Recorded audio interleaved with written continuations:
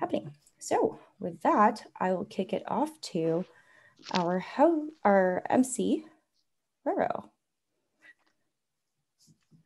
Hello, welcome. Can you hear me all right? Yes, we can. Yep. Okay, uh, so welcome and thank you everybody for attending. Uh, I'm Alexander Romero, I go by Roro. Um, I work at the Defense Digital Service, uh, but was also previously a Marine uh, from 2001 to 2006. Um, and I was asked to, or invited to MC this and I was like, sure, why not? Especially on the Marine Corps' birthday, so hoorah. um, so this is the first ever Veterans in Security event hosted by HackerOne. Um, the main goal is to bring a community together to celebrate uh, in honor of Veterans Day. Um, and also because there is such a shortage in terms of cybersecurity need, um, you know, throughout both the United States and abroad. Um, yep, yet. uh, I'm watching chats here on the side, so if you want to uh, say anything, feel free. Um, so the second most um, important key challenges the global security community needs to address is, uh, is that of skills and capabilities. And so I think um, that's probably what we wanted to really discuss today was a little bit around how we can invite more veterans to participate in such an interesting uh, community. Um, so just a few stats here that I just wanted to share. Apparently, and I, I, keep hearing that there are millions of jobs that are needed to be filled by cybersecurity experts, but um, according to Cybersecurity Magazine, uh, the Cybersecurity Talent Crunch, uh, to create a 3.5 million unfilled jobs and to fill those jobs globally by 2021. So there's a huge need. And um, there's an expected 350% growth in open cybersecurity positions from 2013 to 2021. That's, that's been happening. Um, so a little bit about myself. I used to work as an electro-optical ordnance uh, repair back in the Marine Corps. And I think we can go to the next slide here. Um, yep, happy birthday, Marine Corps. I'm not controlling the slide. So if we have some hiccups here, because this is the first one, hopefully you'll be forgiving. Uh, and then go to the next slide. okay. Um, and so just I guess a little bit about myself as well. Uh, we, we, are gonna have a bunch of really awesome speakers today. Uh, actually, first, let's go over this slide. Uh, so Defense Digital Service, um, the Undercroft um, has helped as well. The uh, see, VetSec and the Cyber Ohana project, as well as SoftWorks have all sort of partnered uh, to make this happen. Um, okay, so sorry, next slide. Yeah, and just echoing uh, Roro, um, huge thank you to all of our partners. Um, this event could not have been done without um, all of the wonderful speakers we'll be hearing from. Um, mm-hmm. uh, we just wanted to also announce um, we are going to be, we created a um, specific CTF just for everyone who participated in this event. Um, the website is there. It will launch on November 13th, um, but you do need a code in order to participate. Um, we'll have some uh, swag and cash prizes from HackerOne.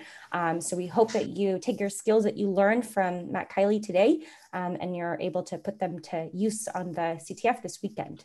Um, so with that, I'll give it back to Roro and he can uh, go through the rest of the day. Okay, so sorry about that hiccup there. Um, I am not the best MC. They shouldn't have chosen me for this, but here I am. uh, so here's a bit of the agenda, I guess, for today. Is, um, we're going to have an intro, do uh, lines of departure and transitioning out and into cybersecurity by Wilson Bautista. Um, the VetSec introduction by Tom Marsland, the O course, an OWASP top 10 obstacle course for beginners by Matt Kiely, uh, Jen just mentioned, and um, a journey through InfoSec and starting uh, the Undercroft by Adam Sheffield, uh, Sheffield uh, and closing remarks at the very end. Um, so without further ado, I guess I'll finish introducing myself. Uh, again, Alexander Romero.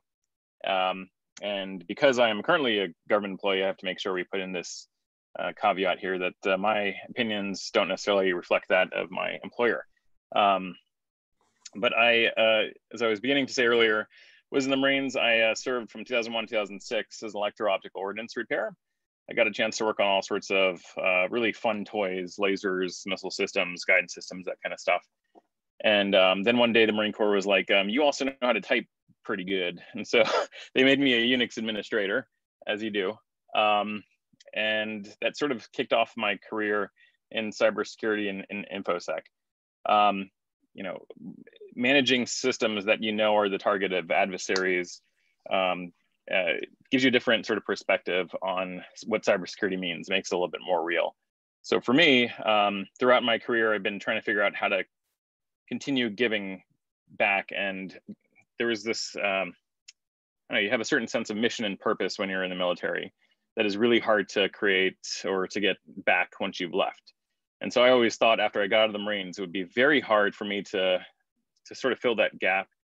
Um, but over time, I sort of found that this this community and this um, this field was a way to do that because I could actually try to protect um, both the American people and some of the things that we're interested in. Um, later on in my career, eventually got more directly into security engineering, and um, I was put in charge of various top level DoD sites like Marines.mil, Air Force.mil, Navy.mil, um, and Defense.gov, just to mention a few. Um, and wanted to make sure that these sites, especially the Marine Corps site, didn't get hacked or defaced. So I tried basically every tool that I could find uh, in order to better understand what our adversaries were going to maybe do against us. This was around 2009, 2010 timeframe. Um, over that period of time, I got to learn really that this is an awesome community to, to be working in. And I found that sort of sense of purpose, uh, again, by working with folks in this community. Um, and also having an important mission that tied that all together. Um, so that's partially why I'm really excited to be hosting uh, this today, uh, this series of uh, discussions. Some of them are gonna be pre-recorded. Um, and so for the first one though, uh, we're gonna kick it off with, let's see, Wilson uh, Bautista. And Wilson is a retired military officer uh, who is currently the founder and CEO of the consulting firm June Cyber and the executive director of the Cyber Ohana Project and uh, a fiscally uh, sponsored project under the Social Good Fund, uh, which is a California nonprofit corporation and a registered 501c3. Um, he provides expertise in the domains of InfoSec leadership, policy, architecture, compliance, and risk to his clients. He also has a master's degree in information systems from uh, Boston University and a master's of business administration from the University of Florida. Uh, so with that, we're going to kick it off with a video because uh, he requested that we do a pre-recorded session. Um, but we'll also put the link here in the side just in case the audio is like funky or the video doesn't come through well, y'all can just time it up so we can watch this together. Um, so I'll put this in chat and Jen, if you want to kick it off.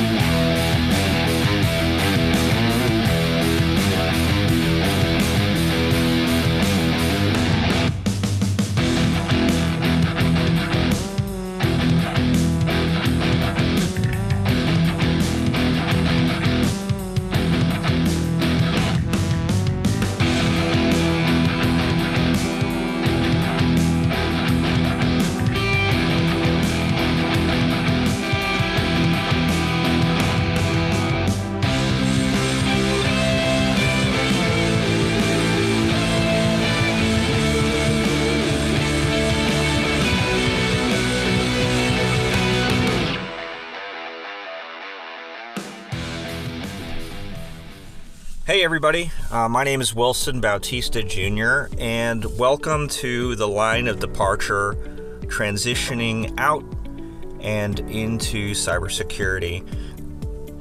Before I begin, I want to thank HackerOne for, for having me um, come and, and, talk for their first ever Veterans Focus uh, Cybersecurity Conference.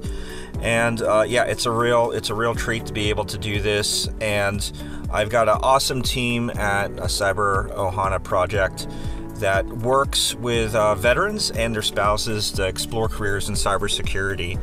Just a little bit about myself.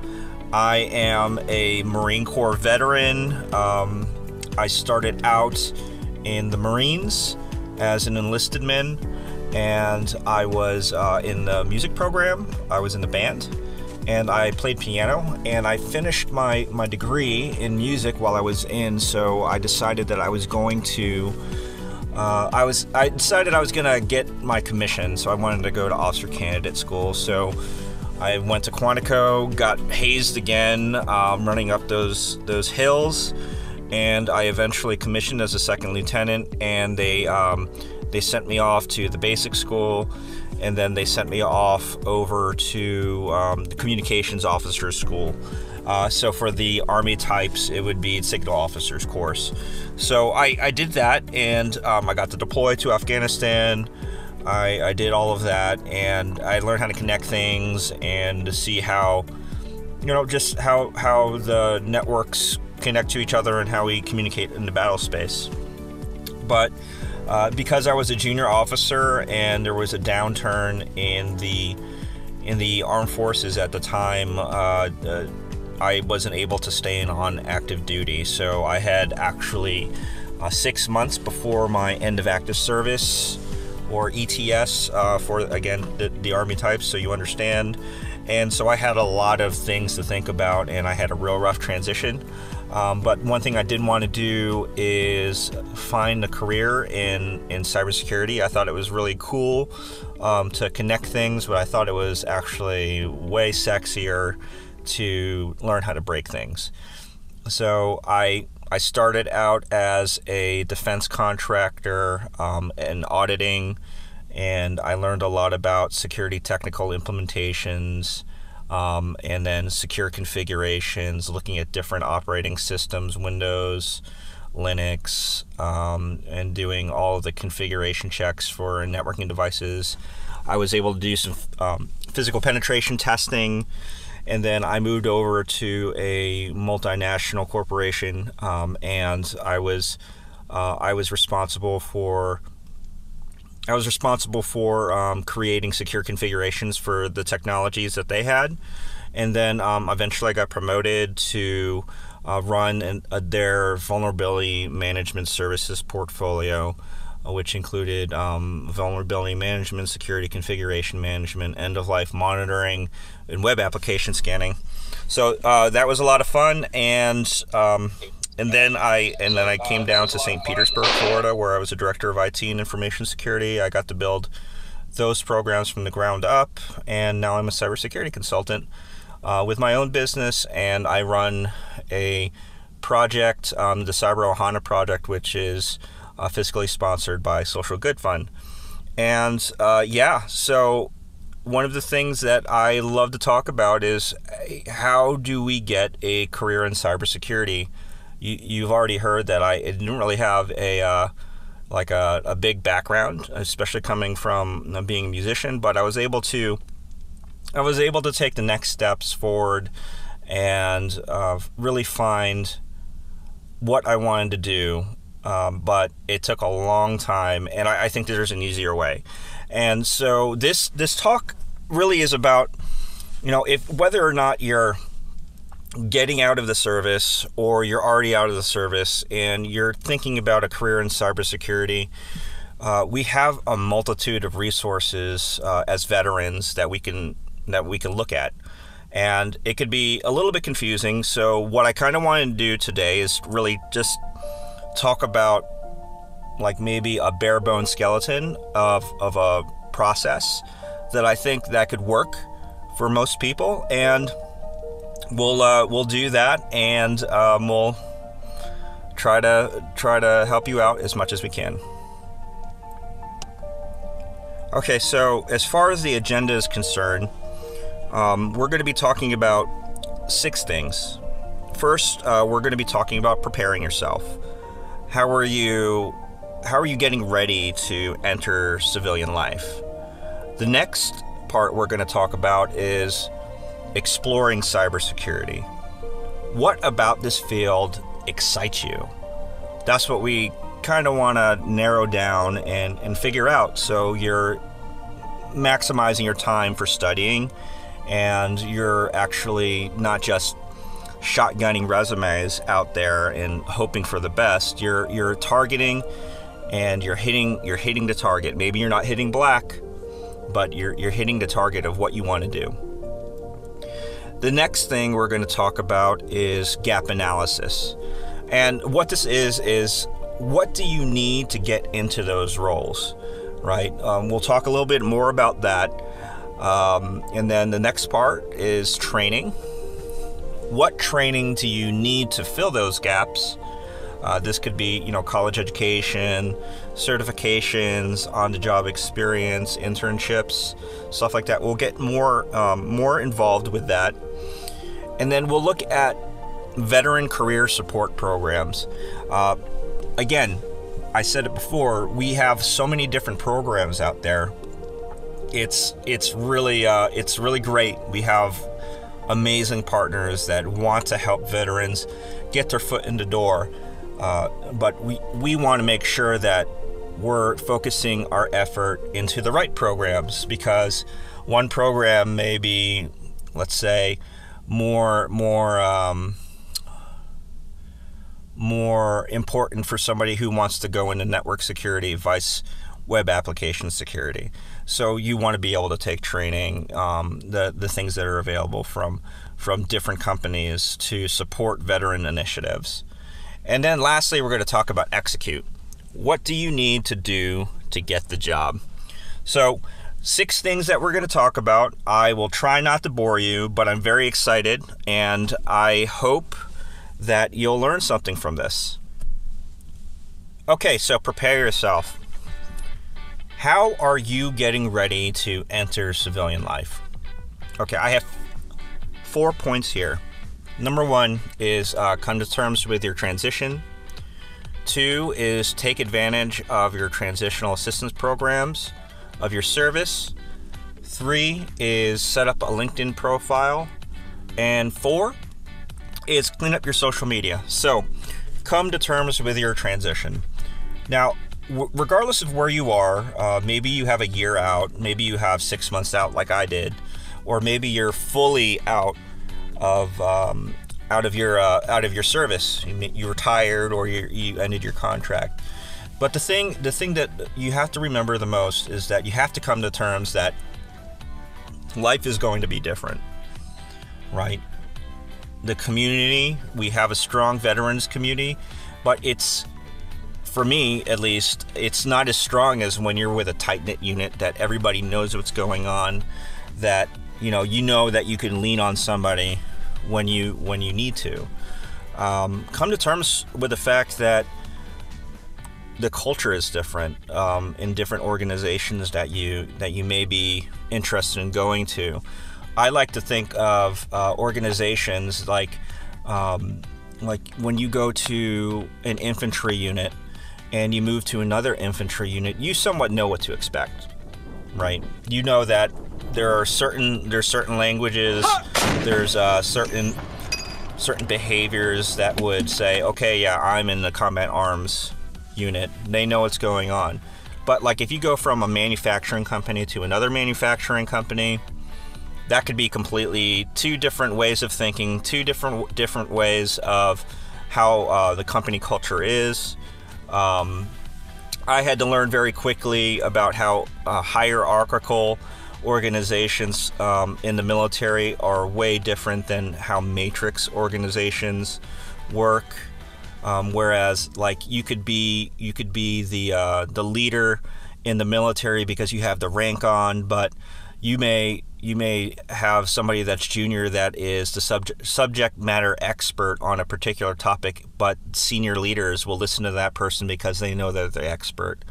Um, you're gonna have to learn how to talk different. You're going to have to learn new leadership skills, soft skill development, empathy, emotional intelligence, stuff that um, when I was in the when I was in active service, they didn't really talk about that because empathy is not a thing in the Marines, right? So that is uh, that's something that you're going to have to come to terms with when you when you transition. You're going to have to get out, and things are going to change. So where does that lead me now? Take advantage of the transitional assistance programs of your service. I think it's really important to not look at these programs as just a check in the box because it is annoying, right? You have to go in there and you have to sit down and you have to sit with a, a bunch of folks that are like on the last leg of their of their you know retirement or of their their term and you know they just want to get get the heck out of there but there's a treasure trove of information that's going to really help you um, really help you understand how to build your resume, maybe some interview skills, how to do elevator pitch, um, you know, how to dress because it'll be different. So take it, take full advantage of these transitional assistance programs, and and learn as much as you can. Uh, this is not cybersecurity related, but it's going to help you in the long run because as we go further down this list, you'll see how you're going to be able to tailor the things that you've learned if you have a solid foundation to to what you need to do to get into cybersecurity. The next thing I would like you to do is set up a LinkedIn profile. Right? LinkedIn is the professional social media. I can't tell you how many times um, I have reached out to other veterans and asked questions, and they're there to help help me. Um, the other part of LinkedIn is that it's really it's really your online uh, resume, right? When recruiters start looking at you, um, they're going to Google your name, they're going to search your name, and what you want is your best foot forward uh, professionally because they want to see who you are, what you've done, who's endorsed you, you know what what what are the what are the things that you're into, uh, some of the organizations, what certifications you have, what what your education is, and you list all of that that out on LinkedIn, and it's a very very powerful tool, and it helps you get into contact with people that you wouldn't normally talk to and it's global it's not just limited to, to the us so having a LinkedIn profile is huge. So I would invite you to set up your LinkedIn profile if you haven't done so already, because that's going to be one of the main things that recruiters or hiring managers are going to be looking at when they talk to you. Um, the other part is clean up your social media. I, you know, back in the day, they had a few social media um, outlets like uh, you know MySpace. Everybody knows that, but there was another one called Friendster, and yeah, I, I found that my accounts were still active. And um, these are like when I was like 12, 13 years old, um, you know, just starting out with social media and just pictures of, of, of, things that maybe, you know, just, just dumb pictures of myself. And what you don't want is when a recruiter or a hiring manager is searching for you, that they come across these um, these uh, these pictures or some of your statuses or some of your comments, and uh, they look at that with um, with disdain because uh, maybe you didn't set your privacy settings right, or n- no one really wants to see you partying what you did on deployment um, and all of that stuff. So.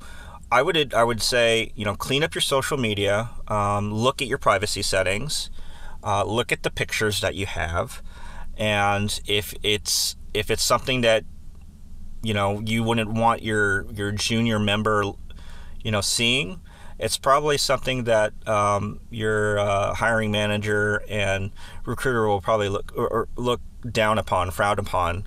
So just make sure that you you clean up your social media um, close close accounts that you don't need um, you know twitter facebook you know look at look at the things that uh, you have all of all your accounts on, and just make sure that whatever you want to be put out there for for searching for anybody to look at, that it's that's representing who you are. Uh, because as you start getting out and you're starting to put these resumes out there, you're exposing yourself, and people are going to start looking at you if you're a prime candidate. So um, this would be the first part, prepare yourself. So um, just review there. Come to terms with your transition. Take advantage of the transitional assistance programs of your service. Set up a LinkedIn profile and clean up your social media. Okay, here's where the fun stuff starts coming down. Okay, exploring cybersecurity.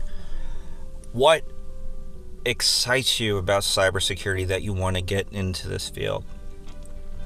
One of the things that I always talk to my students about is is understanding that yes, cybersecurity is a lucrative career. You can make a lot of money um, going into this. I, I believe the average salary for a for a cybersecurity analyst is about I, I think 55 to 65k.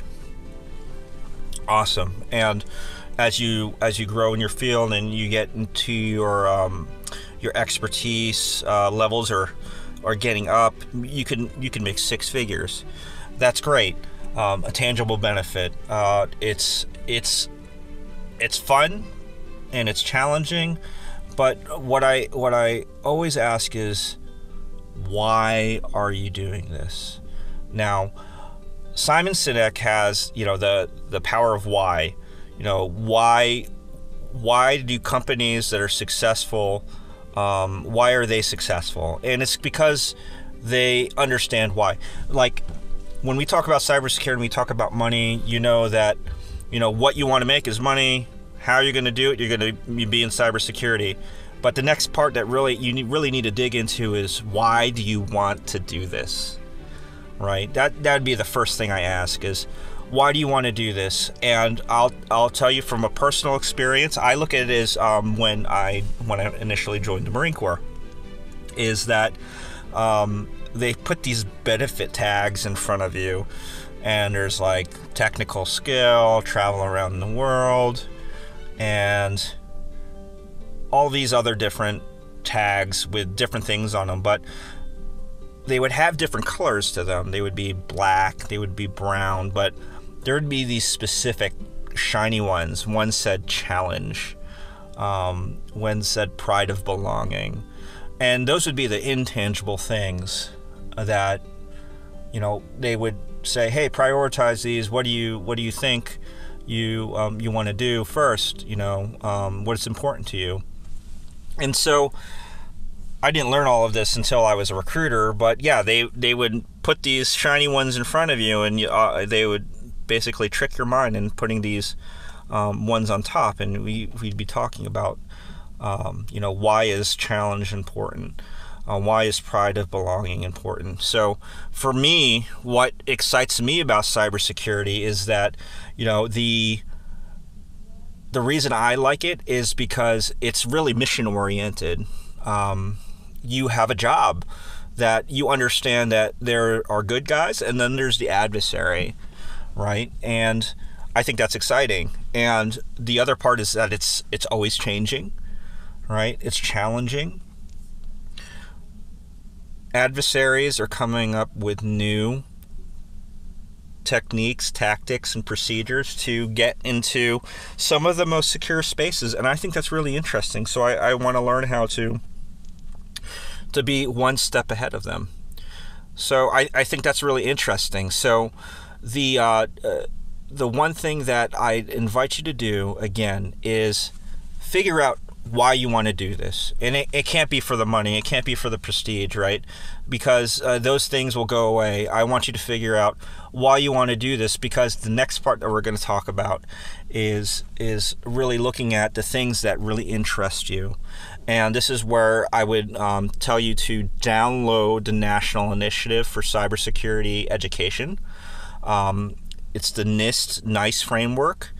And what it does is that it takes all of the different domains that exist in a cybersecurity organization, right? It takes all of these domains and it lists them out. And then what it does, it lists the roles out within each domain. So you would have different roles that are in different domains, and then you would have these roles have specific knowledge, skills, and abilities for you to to really learn and understand. So that when you look at the NIST NICE framework, that's how I kind of want you to to look at it. Is look at these look at these domains, say, hey, this looks really interesting to me. Let me look at the different roles that are here. Let me look at the different knowledge, skills, and abilities or KSAs that are within these roles so that at the end of the day, you are going to look at four to five roles that you could see yourself pursuing, right? And then say, okay, out of these four or five roles, what is the priority that I would like to to learn this for, um, learn learn from? So, Like maybe you want to be a forensic investigator, maybe you want to be a web application scanner, right? But the one thing I, I would invite you not to do is say that I want to be a hacker, right? Because like saying that you're a hacker is like saying, or um, saying that you're a hacker is like saying, hey, I want to be a scientist, right? Yeah, that doesn't really work. It's it's so. There's so much stuff that you need to look at, and again, invite you to look at the NIST NICE framework. Write down four to five roles you could see yourself pursuing, and then we move on to the next step. And that's gap analysis. What do you need to get into those roles? So you've already listed down the four or five roles that you could see yourself pursuing, right? The next thing I would invite you to do is use Indeed to search for roles. And you'll notice that some of the KSAs don't really line up to some of these roles that you found on Indeed. And that's that's fine. That's completely fine. But what Indeed does um, it'll give you a clue as to what tools or what different KSAs for the specific role that you're that you're looking for that an organization needs.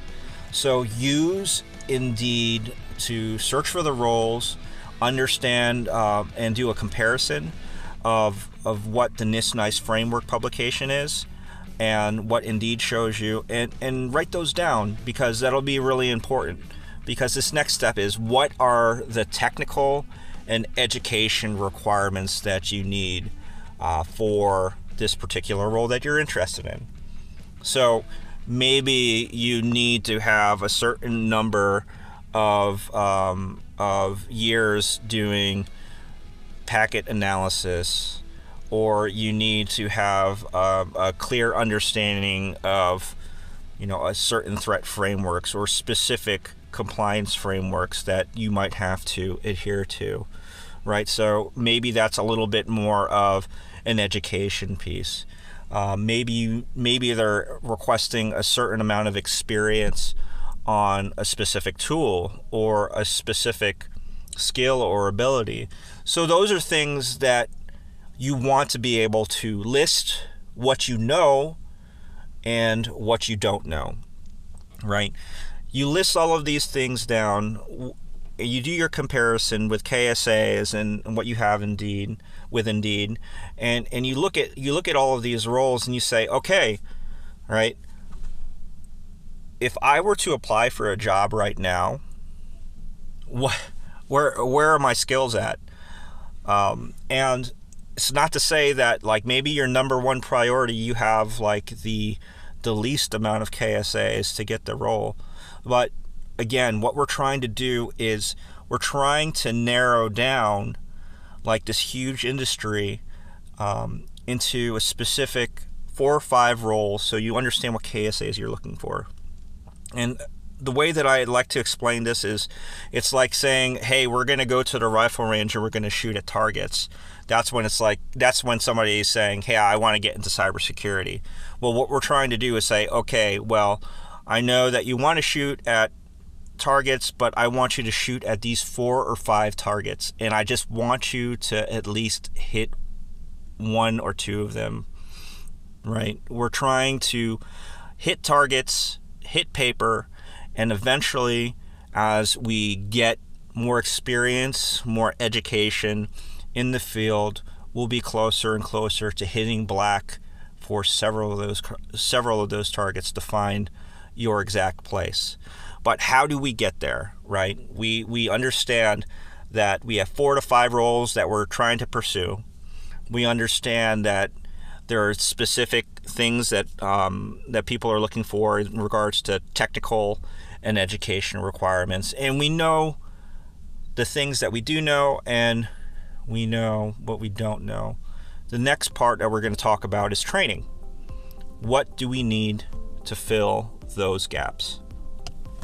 So what do we need to to get in order to fill these gaps, right? Um, you could do the traditional route. People look at college education. Maybe you want to get a degree in cybersecurity. There are um, schools of thought that say no, you don't necessarily need that.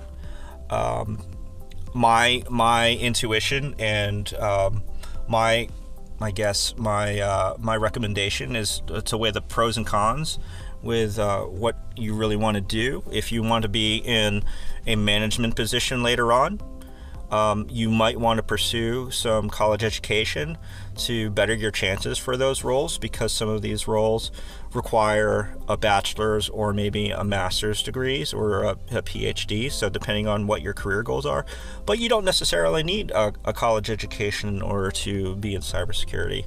It just really depends on um, on where you see your five to ten year outlook in your career. Uh, the next part is certifications there is a plethora of certifications out there. And this is why I think it's super, super important that you understand that, you know, it's not just getting as many certs as you can, right? Um, certs are nice, they are a validation that you understand the knowledge that you have. Um, that you, that you could take a, that you're a good test taker and that you get uh, and that you could you get a certification. But some of the certifications that you take tests for, they don't have um, they don't have the skills or the abilities um, side that really show that you you really understand the the concepts and that you could actually execute these. So when we look at certifications, I want you to I want you to think about does this certification matter in the role that I want to be in, right? So, um, a good a good rule of thumb is to look at those roles and look at those not the KSAs, but look on Indeed and say, okay, are there any specific certifications that they're looking they're looking for? Because that is what's going to set me apart from from my peers if we are applying for these jobs. Are there are there required certifications or are there nice to have certifications that they're looking for? So, as you're looking at those roles and you're looking at the certifications you should be training for, you know, um, that's that's what you should be looking looking to get, and prioritize your study time in order to do that. Another thing that you want to look at too is you have so many so many different sources of education that you don't need to go to a certifying body to get you know a certification for but like if you need a specific skill like um, understanding PowerShell or understanding Python or understanding the basics of programming there are a lot a lot of free classes to to go and take um, go to Udemy go to Coursera. There are some awesome, awesome resources out there, and there's really, really good, good instructors. And I would invite you to look at those kind of trainings to increase your your skill set and level up, um, and and to really set yourself apart from your uh, your peers. Um, training also comes down to on the job experience, right? If you don't have a job um, in cybersecurity now, how do you possibly get any kind of on the job experience? Um, I think that there are uh, really good ways for those of you that are getting out that have not quite gotten out yet. SkillsBridge is a great program for you to look at.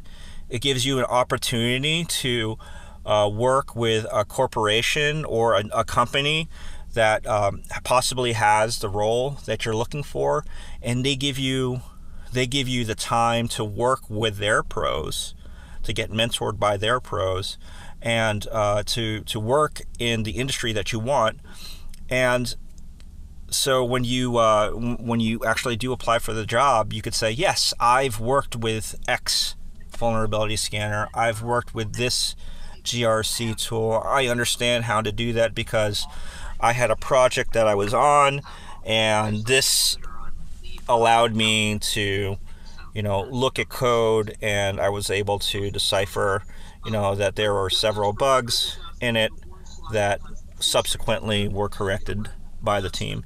So trying to get that experience um, as you're getting out, there's opportunities for you there. Now, if you are already out and you're looking for those kind of opportunities, you may, if you're already in a job and you've already expressed interest that you want to be in cybersecurity, maybe you have an IT section that has a gap in um, cybersecurity or they have some mundane task that they don't really want to do or a report to be created or some kind of analysis that needs to be done. Find opportunities to exploit that will get you to where you need to be. So, those opportunities are out there. Um, if you're still in school, I would invite you to intern at companies, right? Um, there's two year and four year programs where there's intern internship requirements. If those are not available, I would try to talk to your career counselors and ask to get some shadowing opportunities with uh, with cybersecurity companies or cybersecurity professionals. Um, I because I think it's really important that that everybody understands that there's so much experience out there and um, there's so much training opportunities that we can take advantage of. That that experience is going to be one of those things that you know certifications won't be able to provide. You know, college education won't be able to provide. You want to talk to people that are on the ground, brass tacks. They know what's going on. They could tell you, hey, you have textbook knowledge and then you have real world knowledge, you have street knowledge. This is how it really is. So it look for opportunities to get experience because that's definitely going to set you apart and really amplify um, what you've learned in college, what you've learned in um, the certification training, and it's really going to set you apart from everybody else. Okay, so um, I think we got the point there. Now let's talk about veteran career support programs. Okay, so with these, I'm looking at what programs are available to get training and experience. All right, so when we talk about training, training has to be paid for. So uh, a few things that you you want to take advantage of is um, your GI Bill benefits if you haven't already used them. Right. So look and see if you have GI Bill benefits. Um, they will pay for your college education. They will pay for training, um, for certifications, and they'll actually pay for the exam so you could um, get these certifications.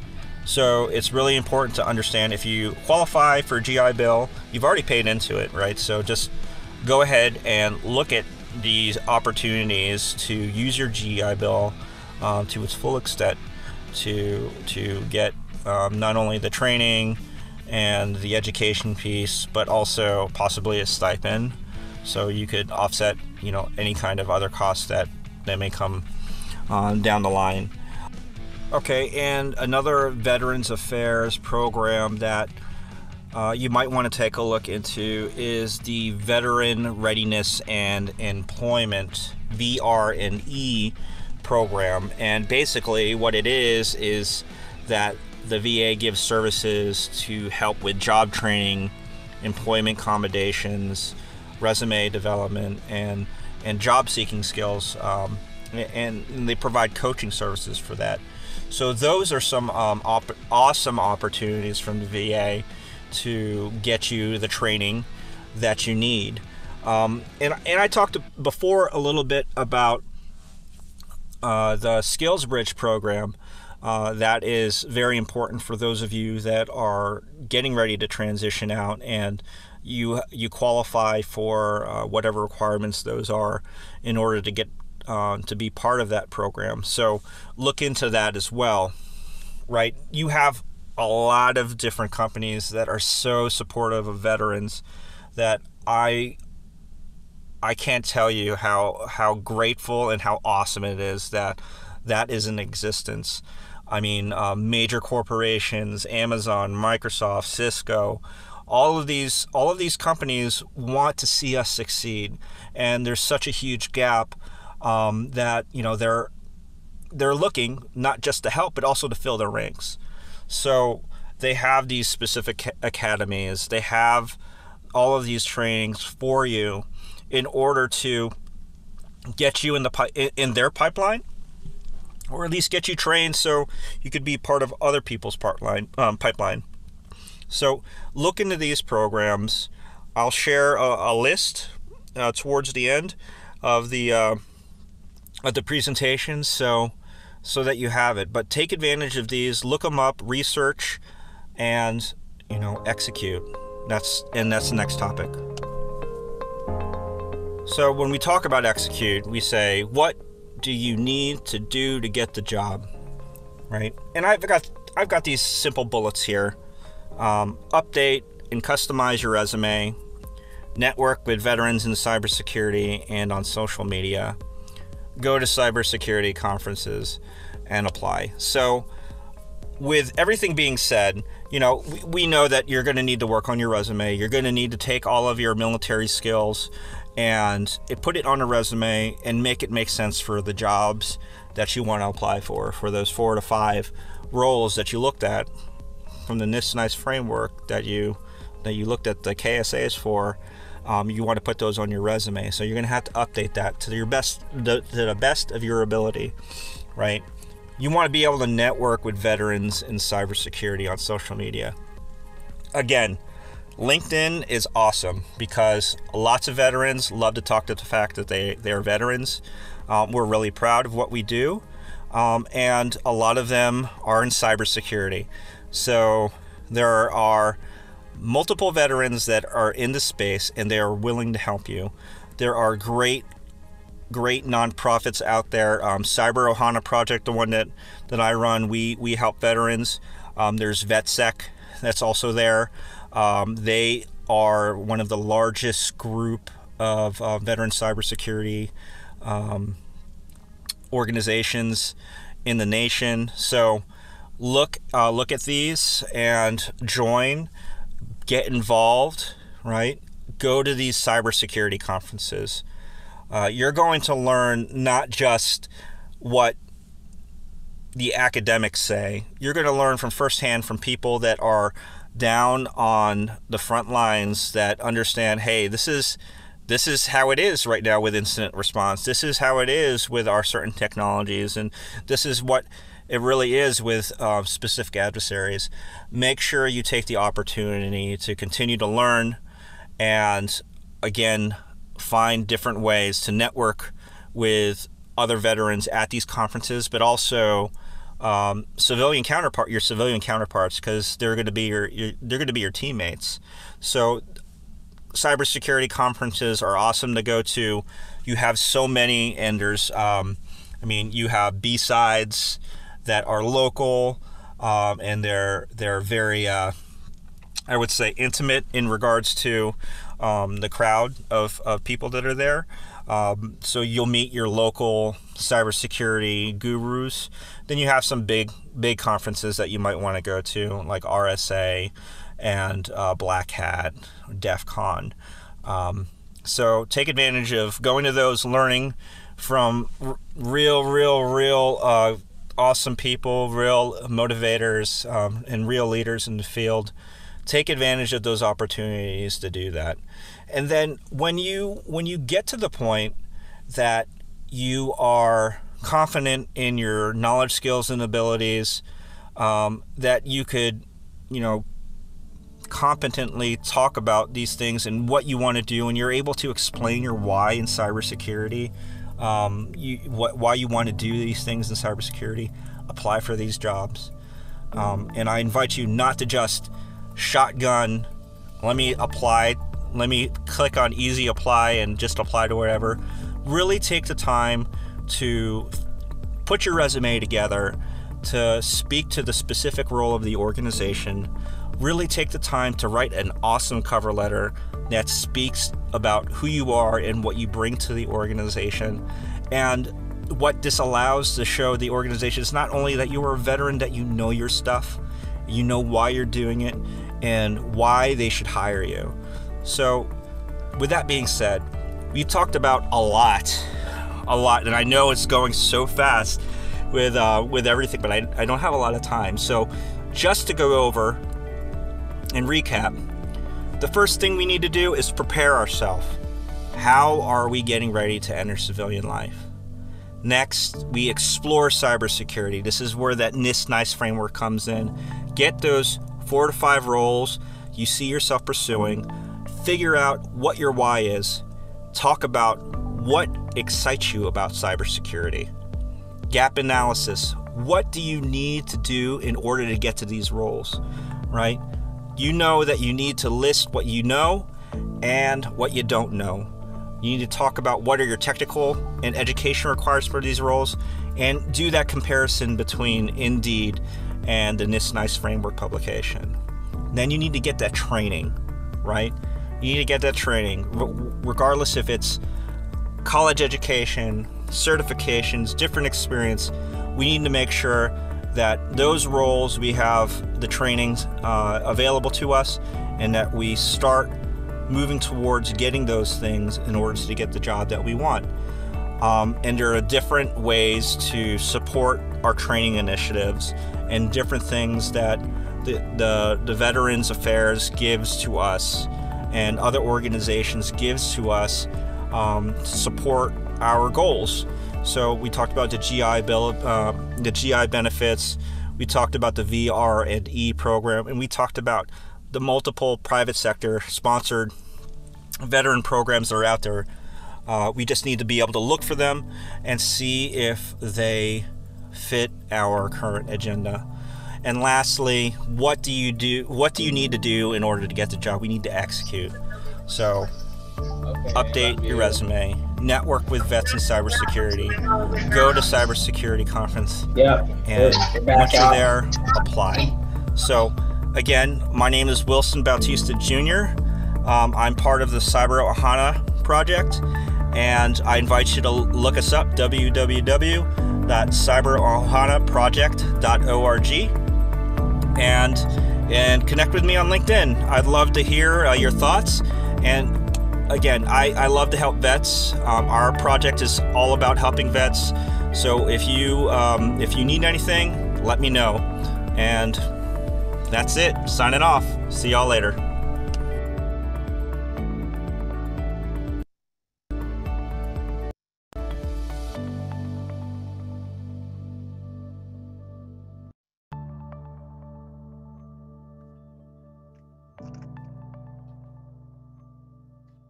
Okay.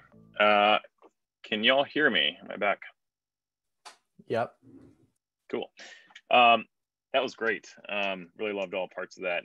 And for folks who are both transitioning out to the military, and then I think also maybe folks who are already vets or have been for some time, I found a lot of uh, value in, in, hearing that. Um, but let's move on to our next uh, short speaker, unless I think actually Wilson might be on the line. I don't know, Wilson, do you have any final thoughts?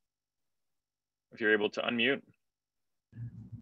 Yeah, no. Um, if you if you guys have any questions, please let me know. Um, definitely here to help every one of you, and I, I look forward to connecting with you on LinkedIn. Thanks again for having me. Great, and thank you so much for the talk. That was great. Um, okay, so for the next uh, quick talk, it's a short one, a 10 minute uh, talk with Tom Marsland. Um, he's an active duty US Navy uh, Master Chief Petty Officer, not same as Halo, um, and the board chair and CEO at VetSec uh, Inc. Um, he's been on active duty for 19 years, serving as a nuclear power trained electronics technician on submarines, and has traveled from the equator to the North Pole. He has a passion for uh, cybersecurity and helping to make sure no veteran uh, goes unemployed. So without further ado, uh, Tom. Hey, thanks everybody. Um, while Jen pulls up the slides, I just want to say thanks to HackerOne for having us, and thanks for Wilson for that last presentation. That was awesome. Um, if this doesn't load quite right, I can share my screen out, Jen. But um, really today, I just want to talk for just a couple minutes about what VetSec is and what our mission is. Um, so our vision is a world where no veteran pursuing information security goes unemployed.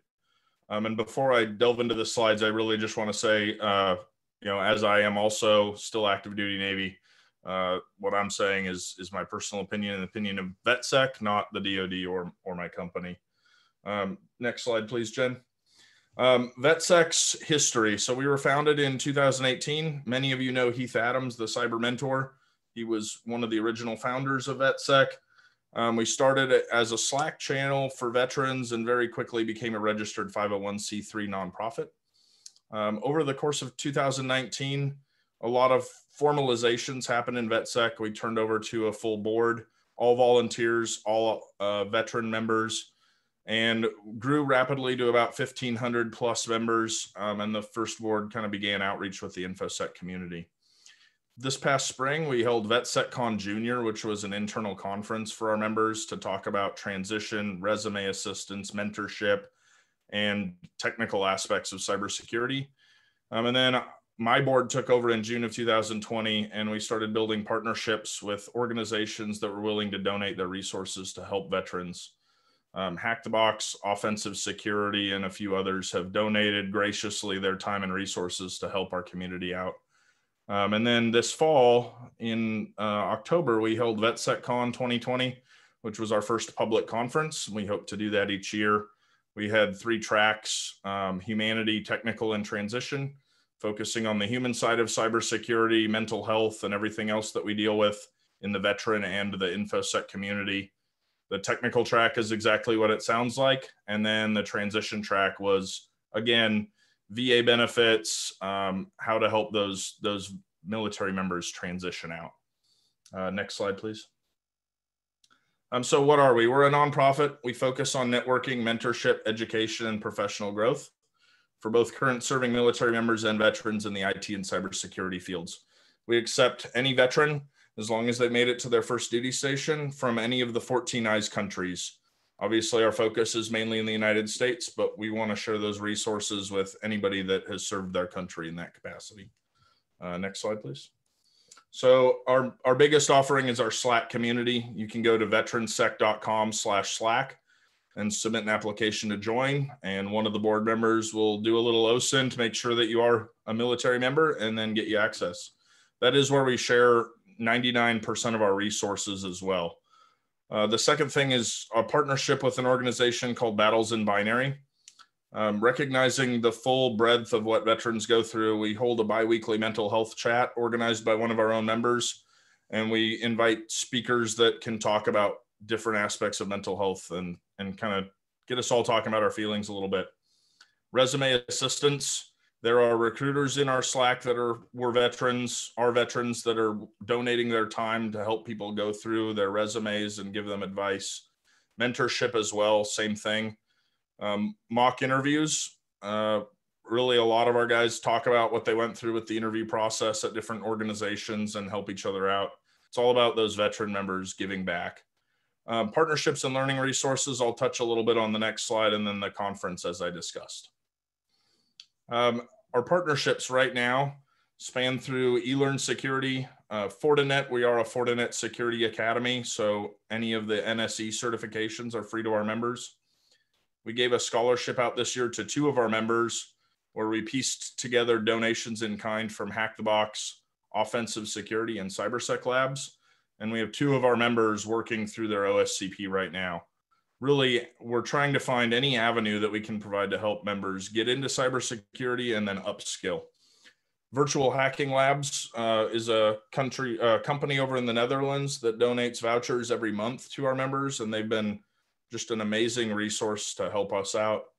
Um, Kaspersky donated five seats for Yara training, and then all of our stories of our members that are that are wanting to get their name out of there, out there and talk about VetSec. If you go to cyber.media, um, you'll find an interview with me and a bunch of the VetSec members about their stories and how they got out of the military and how they transitioned. Um, so, so what's next for VetSec and where are we going from here? Um, we are over 2,400 members now, but we want to go way more than that. There's about 100,000 military members each year that separate from the military. And I know a, a decent chunk of those want to get into cybersecurity. So we're trying to find ways to get our name out there to the transition assistance programs, the military based leadership, the family resource centers, and starting to use some Google advertising. Our increased partnerships, I'm proud to announce this week that we became a CompTIA authorized partner academy.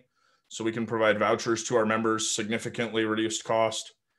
Um, and then our mentorship program. So right now, my board is working on developing a foundations learning path where somebody who's a veteran joins VetSec and they want to get into cybersecurity, but they're not really sure what to what to go do. There's so many resources out there on the internet, some good, some bad. You know, these boot camps that cost thousands of dollars that they, you know, they're trying to to piece all this stuff together and they don't really have the financial resources to do it or just knowing what to go look at.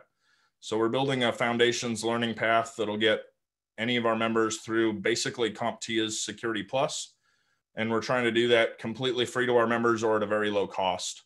Once that's done, our goal is to pair them up with a mentor in one of the specializations in cyber, whether it's penetration testing, web app, bug bounty, uh, blue team, GRC, you know, you name it, and explain to that member what that specialization is. If that's the way they want to go, then providing them some resources and a building block approach to help them upskill into that field.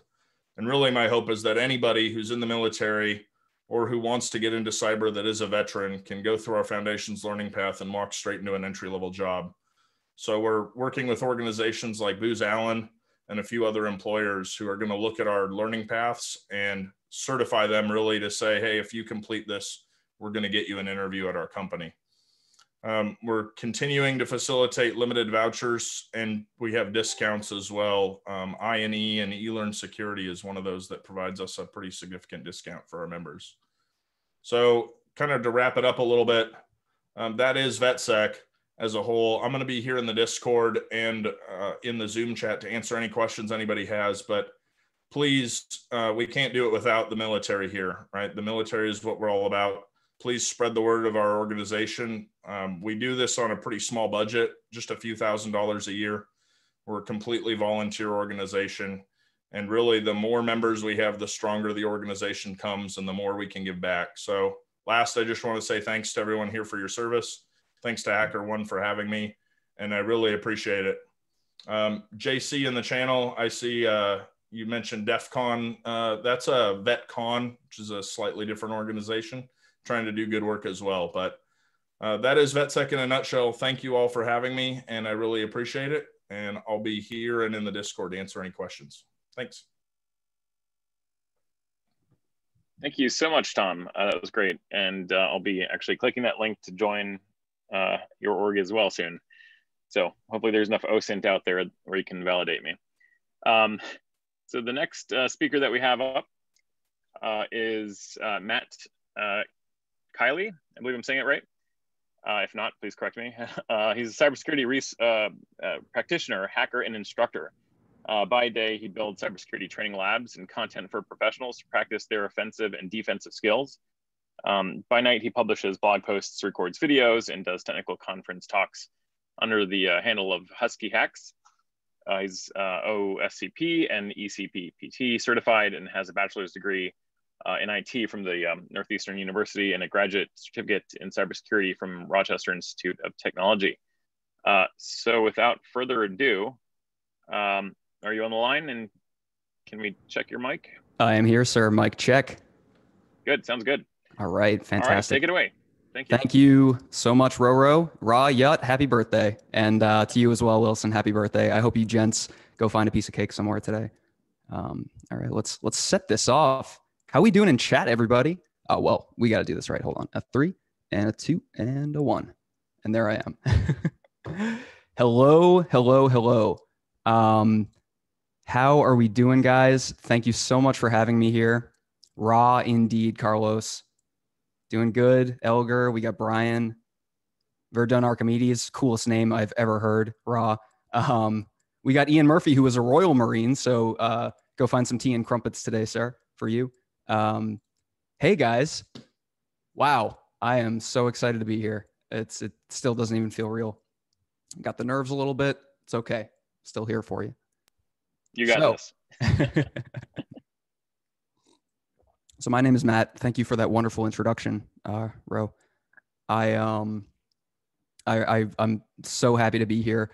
Um, what you guys are about to experience. This isn't so much a talk today. Uh, it's a it's a hack and workshop.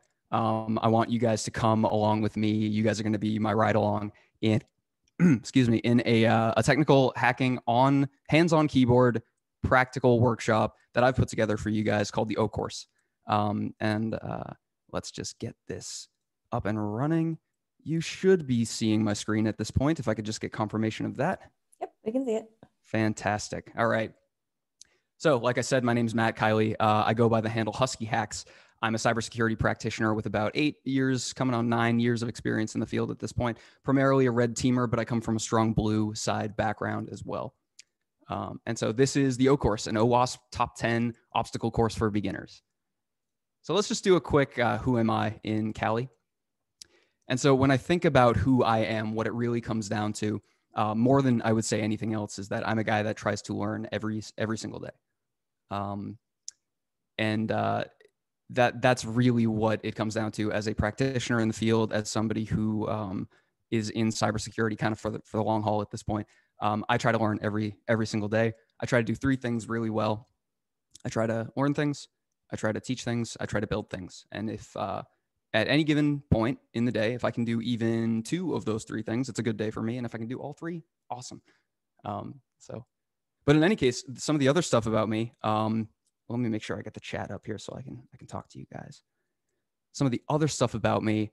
Um, I uh, I'm a recent cat dad. Uh, if you can see that little little guy right there, his name is Cosmo, and uh, yeah, he's a little black black and white tuxedo cat. So he's always dressed for the party, but he never tells me where it is. But that's okay.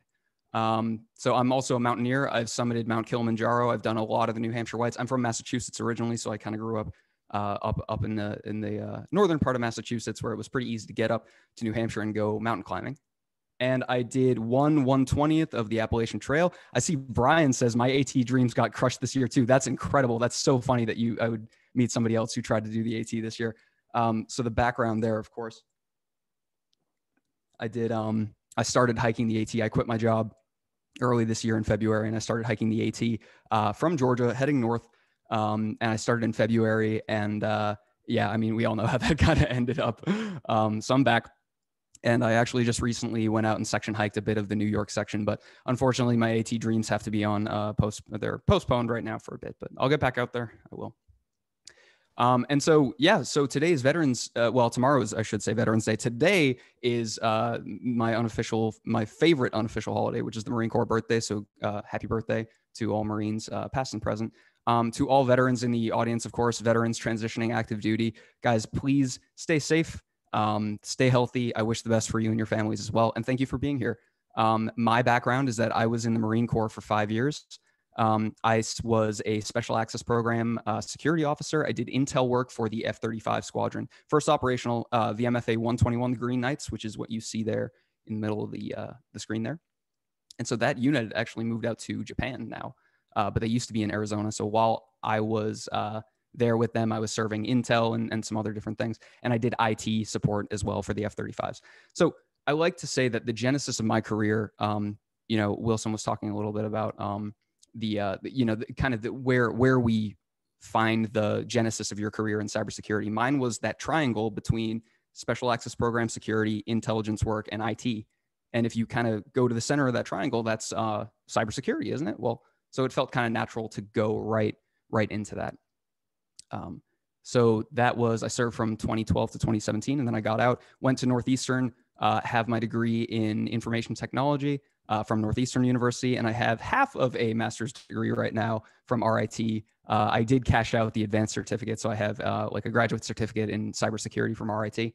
Um, but I, I don't have the master's yet, but I'm getting there. I'll get close. And so some of my um, uh, certifications, I'm OSCP and ECPPT certified quick disclaimer before we begin on this one, and then we can launch right into the course. Um, my current employer is SimSpace, and they're not affiliated or sponsoring this workshop. And so, what I want to say for anyone who has, um, you know, uh, just to, to kind of gauge the skill levels in here, uh, this lab that I'm, I'm going to present and you guys are going to do along with me is actually made for beginners. Um, if the four things on the screen right now seem way too easy to you, or maybe it's it's something that you that you feel you could do pretty easily, um, hey, stick around. Uh, you know, hack them. Um, and and once you're done with that, come talk to me. I have a ton of other lab resources that I can give you that are a little bit more um, in depth and intense, uh, and maybe a little more advanced. But so like cross-site scripting, SQL injection, uh, XXE, and uh, API brute forcing. If those things sound a little a little on the easy side, I can recommend some stuff for you um, that we that'll get you up into the advanced section. So, okay. Good morning, good afternoon, good evening, and welcome to the O course. And this is a workshop lab that I put together for you guys uh, at the request of uh, Jen and Ben um, from HackerOne to put on and really get some some like hands-on keyboard technical stuff with uh, web application penetration testing specifically. So, like I said, my a little bit about my background. I'm primarily a red teamer. Um, like you saw, I'm OSCP and ECPPT, so I have uh, a, a, decent amount of experience with breaking into and testing and um, and assessing web applications. And so, HackerOne, best platform in the world to do, you know, go find bug bounty programs and start to hack into and break into web applications for good, right? You uh, you break into these web applications, you find little ways to poke at them just right to to get them to do something that maybe they weren't intended to do uh, and then you say, "Hey, I found something." I submit the report. You can get money for that. You can get accolades for that. It's fantastic stuff. The crux, the the skill underpinnings of bug bounty program are web application and mobile application assessment penetration testing. And this is what I would present to you today that if you don't have any experience in those areas, I'd like to present this lab to you. And maybe you can walk away with uh, some of the skills needed to start in this bug bounty uh, journey that you're going on. This stuff takes many, many years of experience to get good at. I don't expect you to walk away the actual bug bounty master today. Um, I, I can't necessarily make you that. But what I could do if you have no experience in this is to incite a, uh, you know, fan get get a spark going and fan that into a flame, and maybe someday down down the road you you become the bug bounty master, and then so that's what I would like for you guys. Uh, but if you want that, the journey starts today, and the journey starts with uh, a good understanding of fundamentals and some practical skills, and then you just you know listen to your intuition and go from there.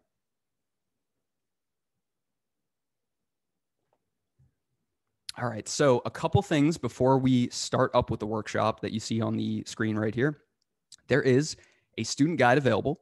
Um, so you can go to the student guide. There are seven seven pages of uh, lecture material and six videos. I want to say I, I, recorded six videos, put them on YouTube. They're all unlisted. So you can just go to the student guide and you can go watch the YouTube videos from there. And they have um, walkthroughs and uh, a practical demonstration of the tools that we're going to use with this. Um, and so you can go there and, and you can follow along while you have your lab set up as well. So just make sure that you go check out the student guide. That's open source on GitHub. Uh, some another uh, kind of admin point that I should mention.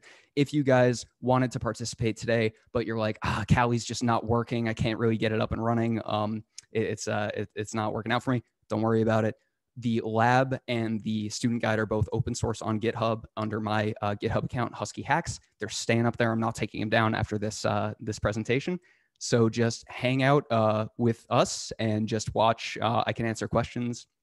Um, and then when you have time, go grab your Kali box, fix it up, get it up and running, and then go grab that lab, uh, snap it in, and uh, hack to your heart's content. So, so in any case, student guides up there. It's got videos and, and lectures. Again, while you're going through this, be on the lookout for the flags. The flags are going to look like that. They've got the curly braces and the underscores like that um, make sure that you're kind of noting down which flags you find. This is just for fun, but uh, you know, it might it might make a little. There are also some Easter egg flags out there too. So just going through the course doesn't necessarily mean that you found every single flag. So keep your eyes open. Start to use some of the skills that you're acquiring in this lab, and uh, you might be surprised at what you find. I'll just put it that way.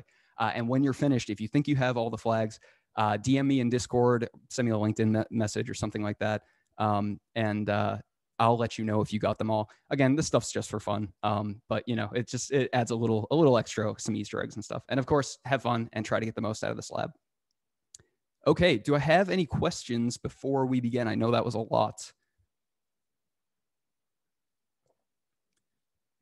Um, latest VirtualBox build. Hopefully, it'll be good enough right now. You should be fine if you have Kali in the latest VirtualBox build. Should be totally fine. Uh, can we get a copy of the slide deck? Absolutely. Does Cosmo the Cat have an Instagram? I'm not going to say no. I'm going to say not yet. Um, let's see. I'll answer. I see some like some some career kind of questions and stuff. I'll answer those because there's going to be a, a, bit of a you know kind of dead dead air to fill because we're going to be working through the, the workshop self paced.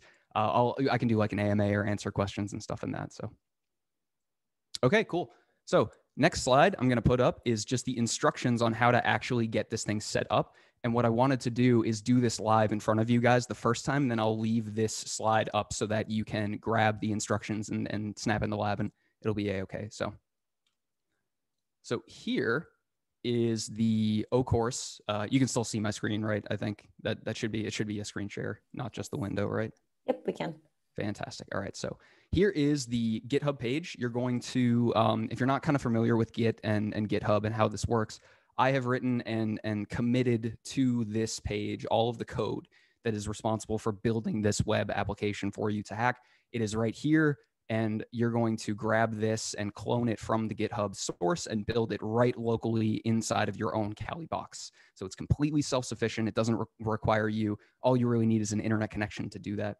And so the other side of this that I mentioned earlier is the OCourse student guide. A little bare bones, I'll give you that, but uh, it's it's um, it's got all of the uh, the stuff that you're going to need. It's it's got the requirements in here, uh, the objectives. We should go over the learning objectives real quick because that's in the business that you know learning objectives are pretty important. Um, you're going to be doing four, really five things, but four four main things uh, in this lab uh, practical exercise. I want you guys at the end of this to walk away from this course having learned what cross-site scripting is and how to identify it and exploit it identify and exploit SQL injection points with v, uh, via both manual and um, uh, automatic, like SQL map, uh, SQL injection methods. We're going to identify XML externity, eh, excuse me, XML external entity uh, injection. We're going to identify, oh God, if I could talk. We're going to identify an XML external entity and inject into it to uh, get at some of the files of the underlying uh, web server and then we're going to go looking for, identify, and brute force an API, and then make certain crafted requests to that API to get it to spit out uh, information. If none of what I just said makes any sense, and you're saying, "What is this? What language is this guy speaking?" Don't even worry about it. The uh, student guide and the videos are going to walk you through that. So don't uh, worry about that. And then so right here has the um, the uh, instructions to set up. So. So I'm going to do that live for you right in front of your very eyes. Right here, I have a fresh install of the latest build of Kali Linux. So we're going to log in Kali and Kali for a, um, that's the default credentials on the latest builds of Kali Linux. And I will disrobe my hacker hoodie. Okay. So we are at the main screen of Kali Linux here. I can close this up. So what we're going to do, per the instructions of the lab, is we're going to uh, change directories to opt. You don't have to really do this. I just like to install things that are not um, built into Kali uh, specifically in the opt directory. Uh, opt is optional, uh, so it can be software that you install uh, just that's not part of the standard builds. So we're going to change directories into opt. You can even keep this on the desktop. It, it's really not uh, that big of a deal wherever you put this. But in any case, wherever you put it, you're going to sudo git clone, and then you're going to take the URL for the O course, which is https colon slash slash github.com slash husky hacks slash O dash course. Copy this,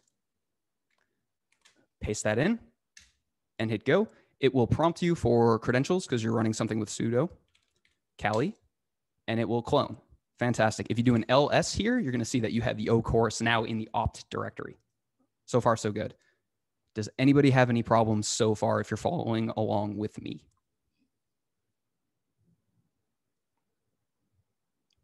All right, so far, so good.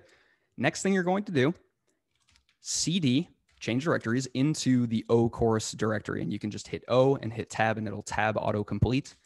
And then you can do an ls and you should be in the directory that has all, it has the install script and all the rest of the uh, code that's required to run this. So next you're going to sudo python 3 install dot py. You must run this with sudo. It actually won't even let you if you don't use sudo to run it. And go ahead and hit enter and just follow the prompts on the screen. At this point, it's just going to say press enter to continue. I throw some ASCII uh, flair text in here. If you are using a screen reader um, and you'd like a more accessible install script, you can do the dash dash accessible flag with this install script, and it'll take away a lot of the ASCII text. So the screen reader does not go haywire when you uh, try to pass the install script through it. So, but in any case, hit enter. Husky Hacks production in collaboration with HackerOne, the O course and OWASP top 10 course for beginners. This is going to set up everything that you need for your lab.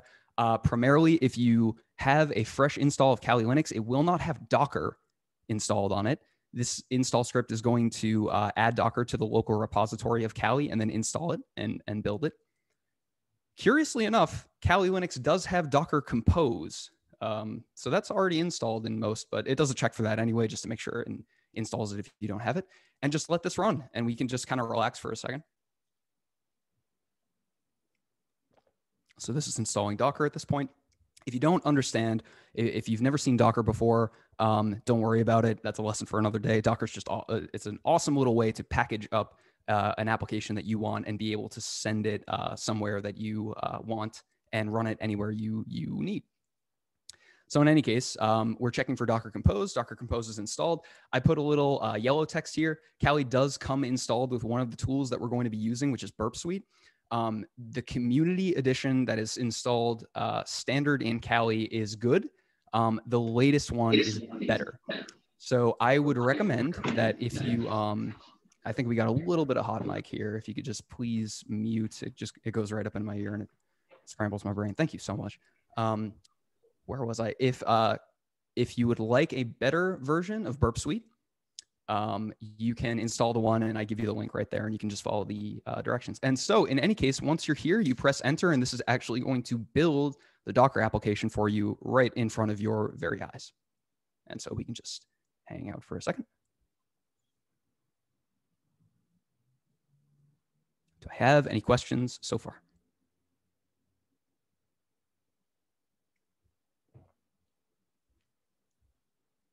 There is an even newer version of Burp 2020 FYI. Yes, and I think it's got a bunch of improvements. It has the built in proxy um, web browser, which is like just absolutely awesome.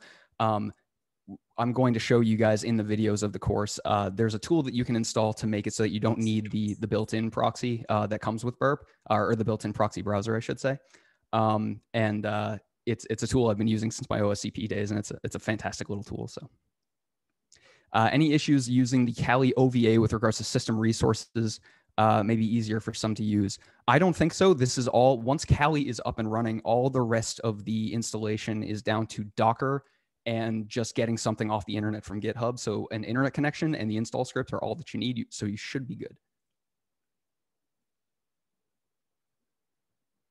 Uh, the new version is not linked in my in my uh, student guide, I don't think, because I teach how to use uh, an alternate tool, which is Foxy Proxy. So, um, but I can get that for you guys real fast here.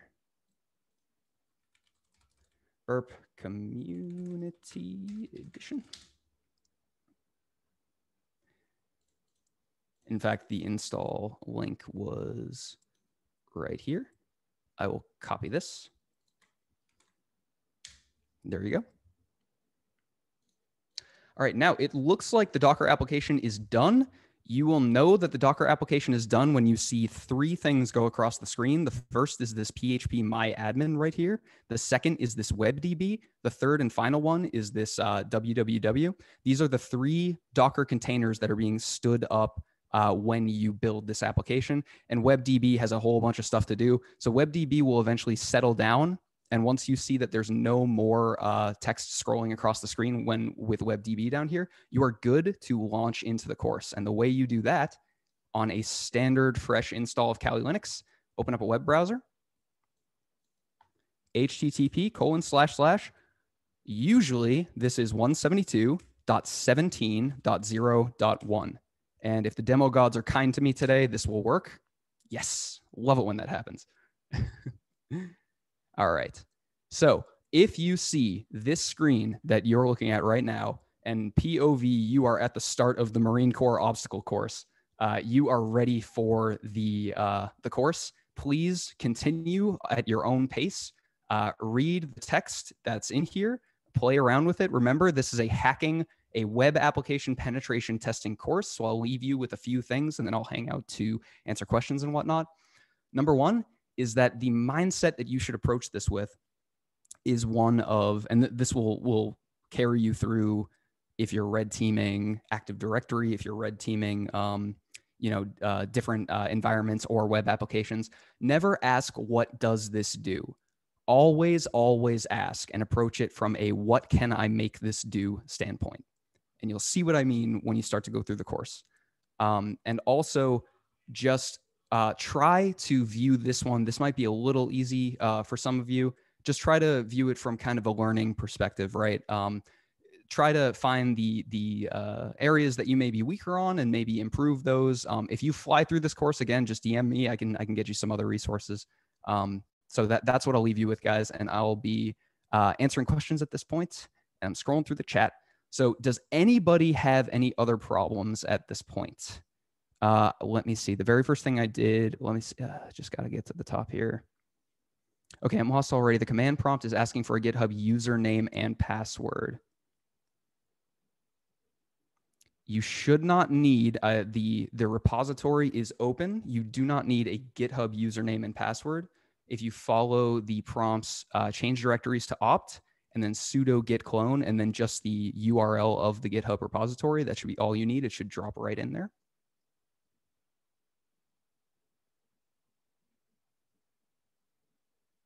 Make sure I'm, I'm catching up on, on chat here. I'll try to get to the, the bottom here in a second, guys.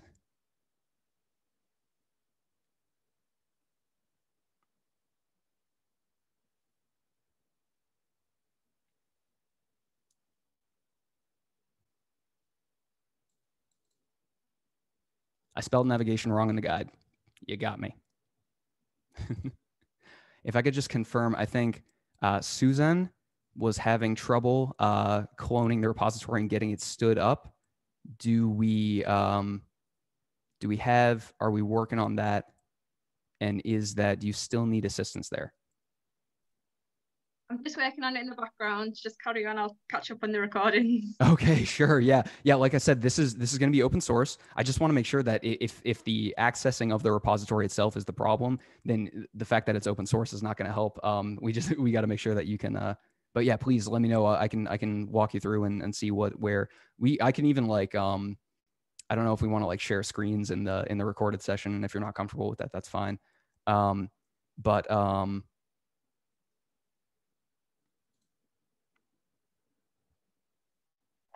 Yeah, so I've just typed it in again and it started asking me for the password for Kali. So I'll Oh the oh the password for Kali. Oh no, that's fine. That's fine. The password for Kali is K A L I.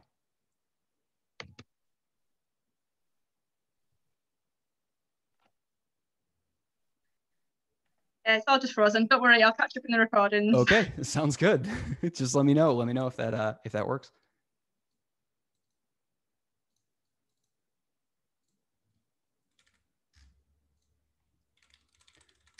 catching up on some private messages here.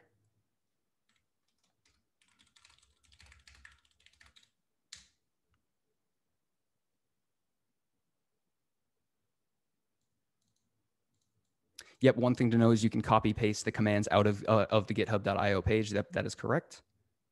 Um, how long am I staying online? My time on station ends at 3 p.m. today Eastern time, which would be, um, what is that, uh, 12 noon uh, Pacific yep, time, I believe. Yep, 12 p.m. Pacific time. And then I will be. I got to go back to my my actual job, but um, uh, but I can uh, be in the Discord, and um, I will be in the chat of the Zoom call uh, to help out with anything else. Time on station, 30 mics. All right, let's see.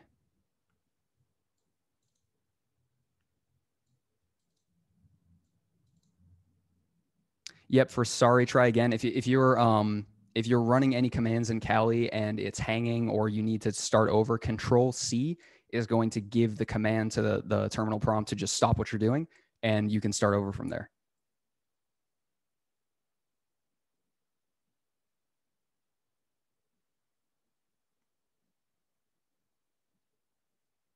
A bit of an AMA question. How did you get into cyber education? Was it always a passion uh, you pursued in this track, or did you have a specific moment, experience, and time that led you down the path? Um, I've probably always been a. I, I've had a, a bit of a um, like a draw to education, I guess. I actually used to be a camp counselor um, a long, long time ago. Uh, so uh, doing theater arts, so teaching kids how to kind of like act on stage. Um, so that was like one of my earliest kind of educational gigs, I guess. Um, and then uh, my current role is content architect and instructor for the content that we put out at SimSpace. And so I got to marry kind of my two my two passions, which are uh, instructing, teaching, and building ranges and um, setting up courses. So it became a really nice nice way to combine both of those. All right, let's see. We got new chat messages.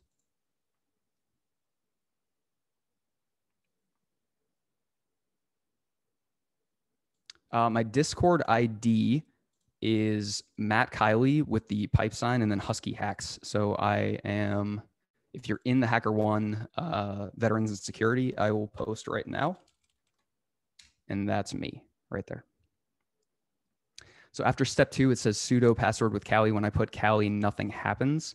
Um, can you please post the command, the full command that you used? Oh, thanks, Jen. Yeah, that's it right there. Can you please, Chris, post the command that you've been using um, to do step two? And in fact, I forgot. I'm so sorry, everybody. I will put these instructions back on the screen.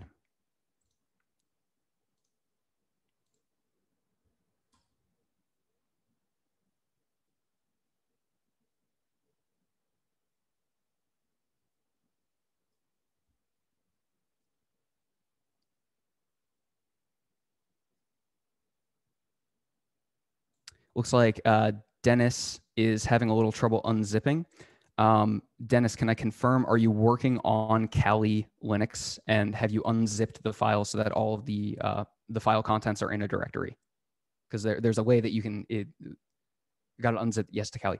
Go in to that unzipped directory and then um, in the main area of that directory before you go into any other um, any other folders, run this command.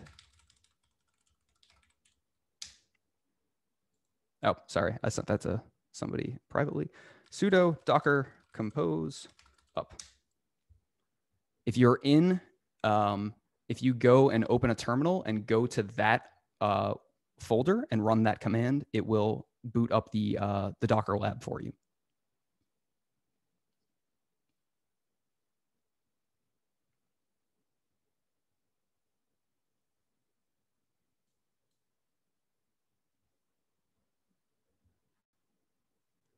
How else we doing? Has anybody been able to get to the main page at this point?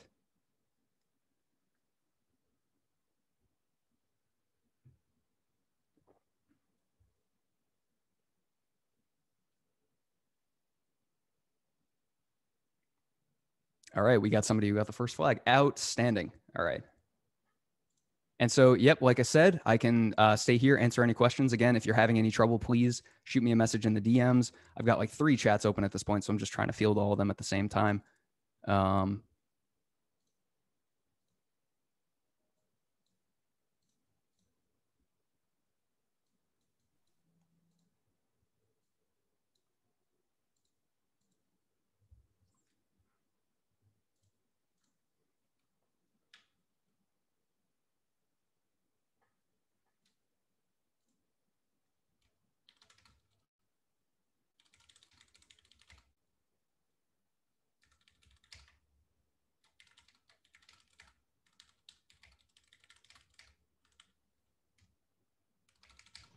Hey, Ben from HackerOne here. I'm going to actually throw in an IP address in the chat. If you're having problems setting up your own, you're welcome to use that IP address to um, play with the script that Matt has put together for us. Nice. So here's the IP address.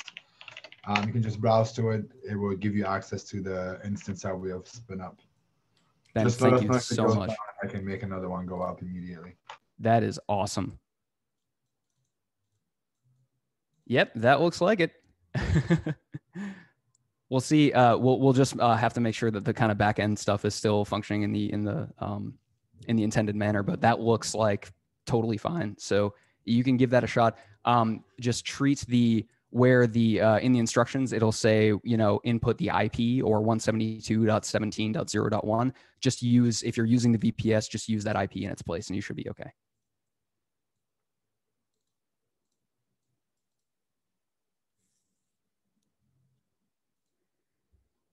Uh, Dennis, can you do a PWD command in the command line, please?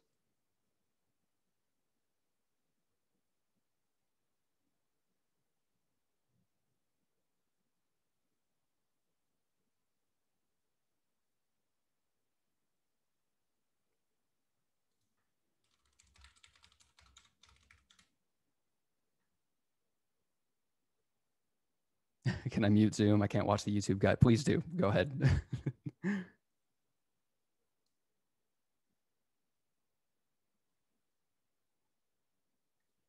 so actually, I'm gonna work on. Let me grab my Cali over to the side, and I'm gonna work on the uh, the VPS that Ben set up.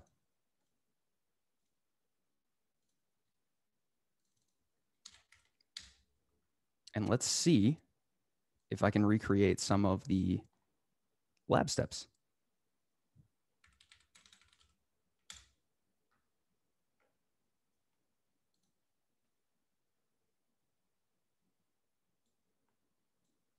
I'm firing up a burp right now. And in fact, if uh, if you guys need the instructions still on the screen, I can put those back up. But I actually want to uh, bring over my Kali, and we can do some of this uh, at the same time. So, so just if you need the instructions again, just ask me. I can bring those back up.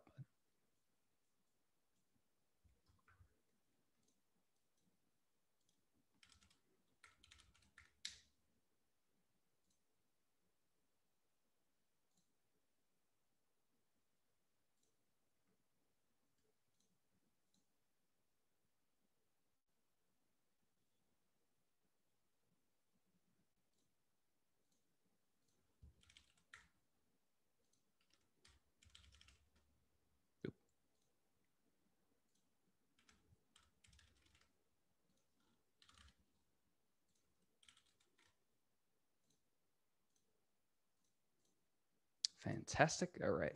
Let's get the intercept up and on. And we'll do one of these guys. Looking good. Send that to repeater. Actually, we don't need to do that yet. We will go to the drop intercept. We'll go to, we got cross-site scripting. We got XXE. We got API disclosure, and we've got SQL map. All right. If I do this and the um, and the the backend responds, then we should be good with the VPS.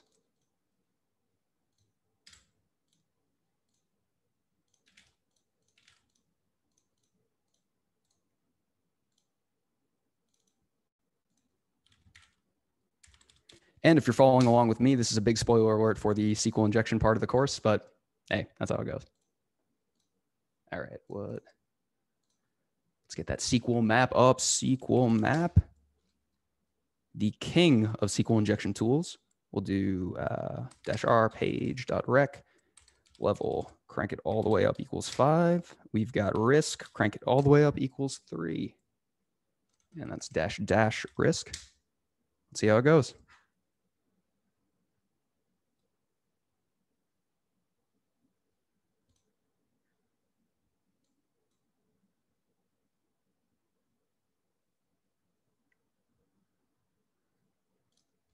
Looking good.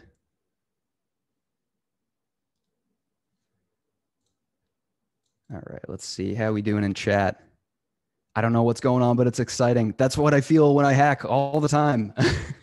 yeah. So, uh, uh, like Ben just said, if you want a treat, if you've got the Dockerized component up and running, so in the background here, um, this is my Docker instance. If you run SQL map against this, just watch what happens. It's an absolute blast. And I would uh, caveat that um, if you're ever in a blue side uh, position and you see some of these logs coming across, the length and complexity of SQL map queries is one of the most um, interesting and terrifying things that you can watch come across your logs. So I'll just leave you with that.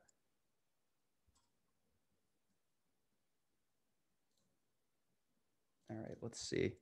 Yep, we're going to try random integers. We should have Boolean or based injection and time based blind SQL. I think it's gonna be okay.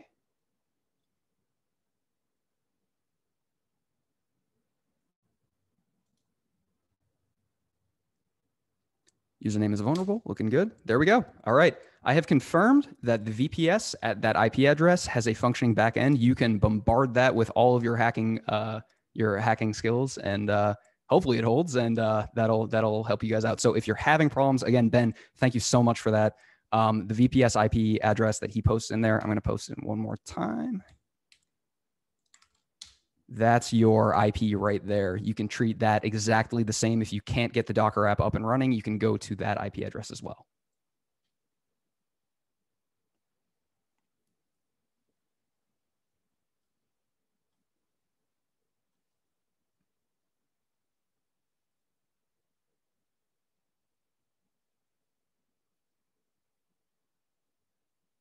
Let's check in with Dennis here. Dennis, Dennis, my guy. Echo Deb Arch AMD 64. Yeah. Permission denied. Are you running? Let's see here. You've got to run the install scripts as sudo. If you're going into Etsy app sources and you're getting permission denied, you're probably not at the root level executing for that command.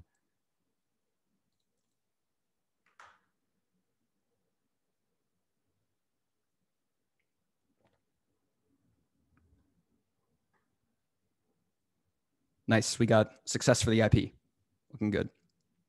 I guess I should caveat that a lot of uh, web app hacking, a lot of really red teaming, uh, internal stuff, external stuff in general, is a lot of this. It's troubleshooting. It's getting errors. It's it's googling the error message. So, um, so it's a it's a good skill to have to uh, try to work through this stuff.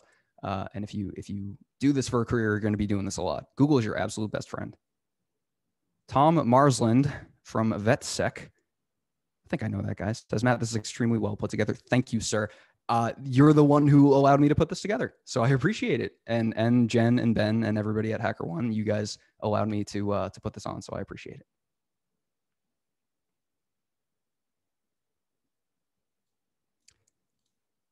Now I have a question for chat. Has anybody found what they think is the the total amount of flags?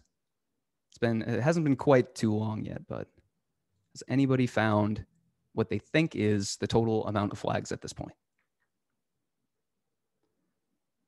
And if you guys want to cash in on some some tokens to get some hints, I can I suppose I can do that as well. 13, a little high, I would say, a little high.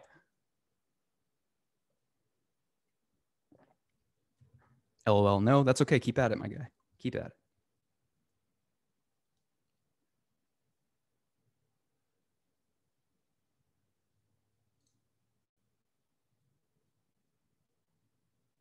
Five, five, getting there. Not not the total, but you are getting there.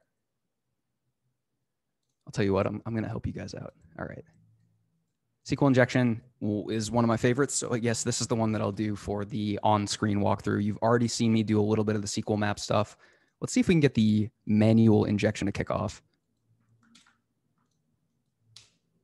Remember um, in the guide, it details that there are some hints down here. So if you're having some trouble, just you know pop one of those hints up and it says SQL injection is achieved by escaping the query that is being used to gather uh, the information from the backend database. Where or what can you insert into the username field of this to close off the query? So for manual SQL injection, remember that the web application is going to act on behalf of the uh, user.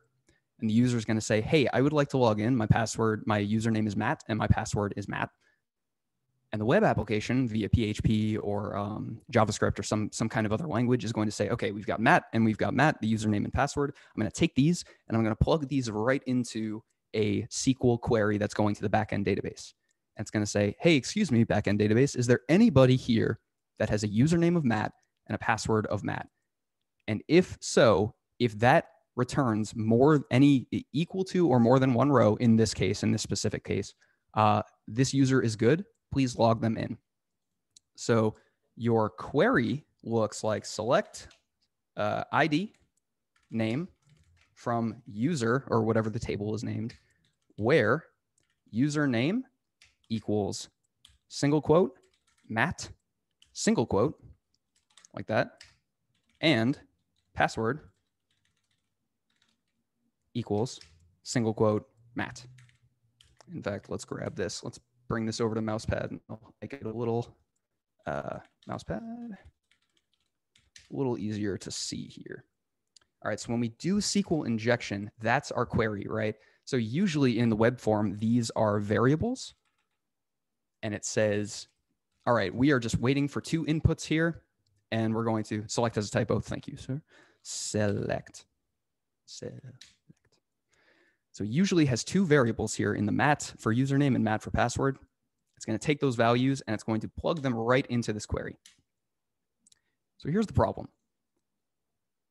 In this particular example, whatever is going into this username field is not uh, sanitized. And what I mean by that is it's treating whatever input you put into this field as exactly that. It's just an input. It's not plain text. It's uh, it's not specified as any kind of of what you should do with this.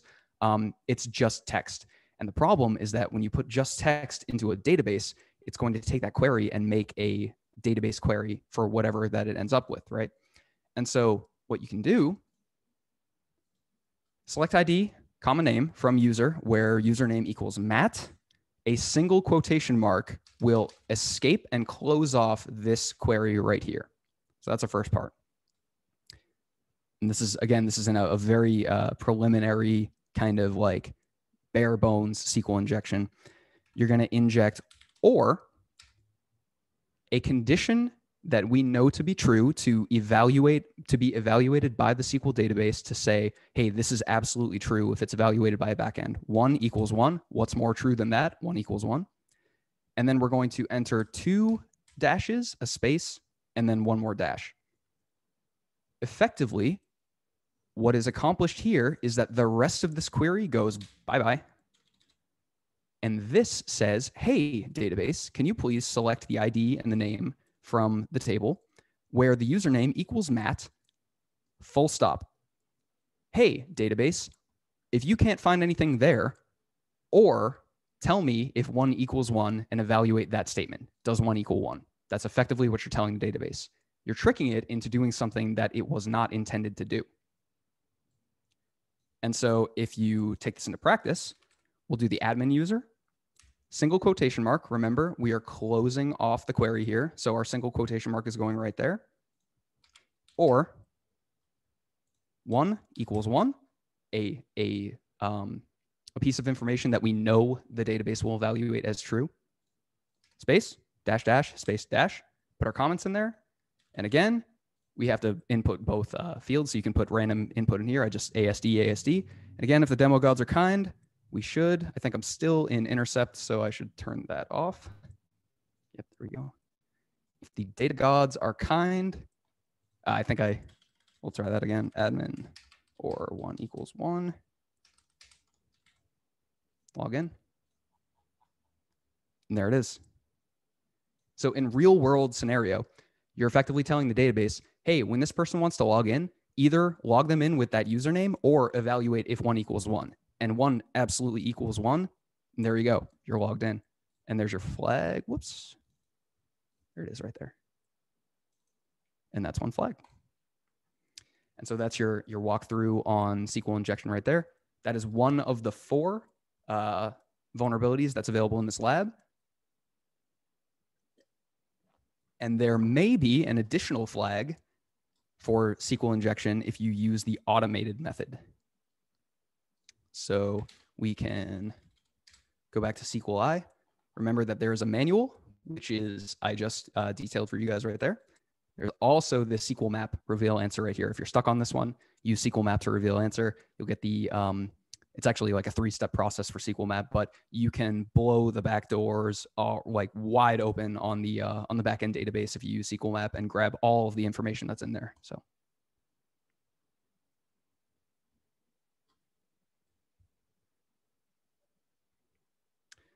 All right, we've got eight minutes by the looks of it. Does anybody have any questions? Anything at all? I think I got to just about everything.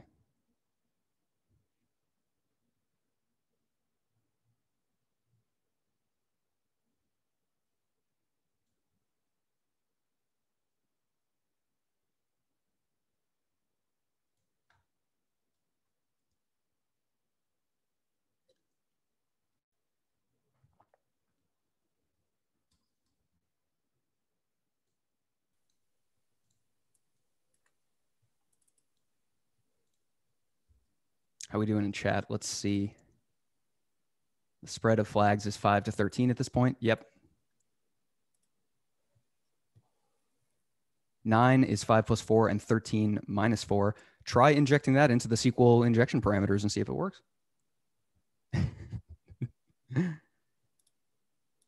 there is also a um uh of in the in the SQL injection video I go over how to do a blind sleep test. Um, super super useful if you come across if you are web uh, pen testing a website and you suspect that there might be a backend database connection that you can inject into, but the web application is smart enough, or the person that coded the web application is smart enough to not show you errors. Um, error-based SQL injection can be a very easy way to get an injectable um, to get injection into the database. So if the person coding that is smart enough to not let you get the errors when you inject into it, a blind SQL injection is when you are trying to prove the existence of an injection point without any errors.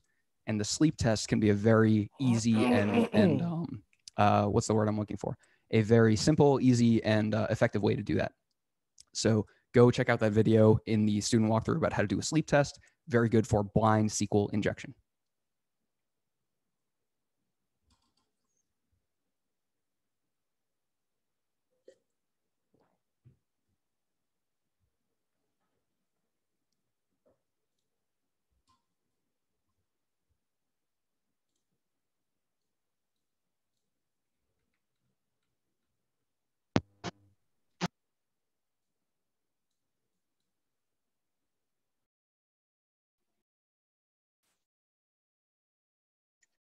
Okay, uh, Matt, I'm not sure if you want me to hold on for the next few minutes. Uh, we can, so you can keep uh, answering questions or we can move on to the next uh, speaker. Yeah, um, if uh, we can move on, absolutely, kind of keep us on track. I can I can stay and answer questions for the last five minutes, and then I can, uh, or well, you I got guess five yeah, minutes either way. It's up we- to you. yeah, sure. I, I can answer Okay. questions in the um, yeah, Brian's in at six. I can answer questions for the next couple minutes. Um, Okay. and then we can uh, cut right over to the next speaker. Any questions at all, guys? Any anything at all? Again, if you're still having trouble getting the Docker application set up and you still want to do that, please DM me directly um, or use the the IP address that we've posted. I'll post that one more time. Let me grab that.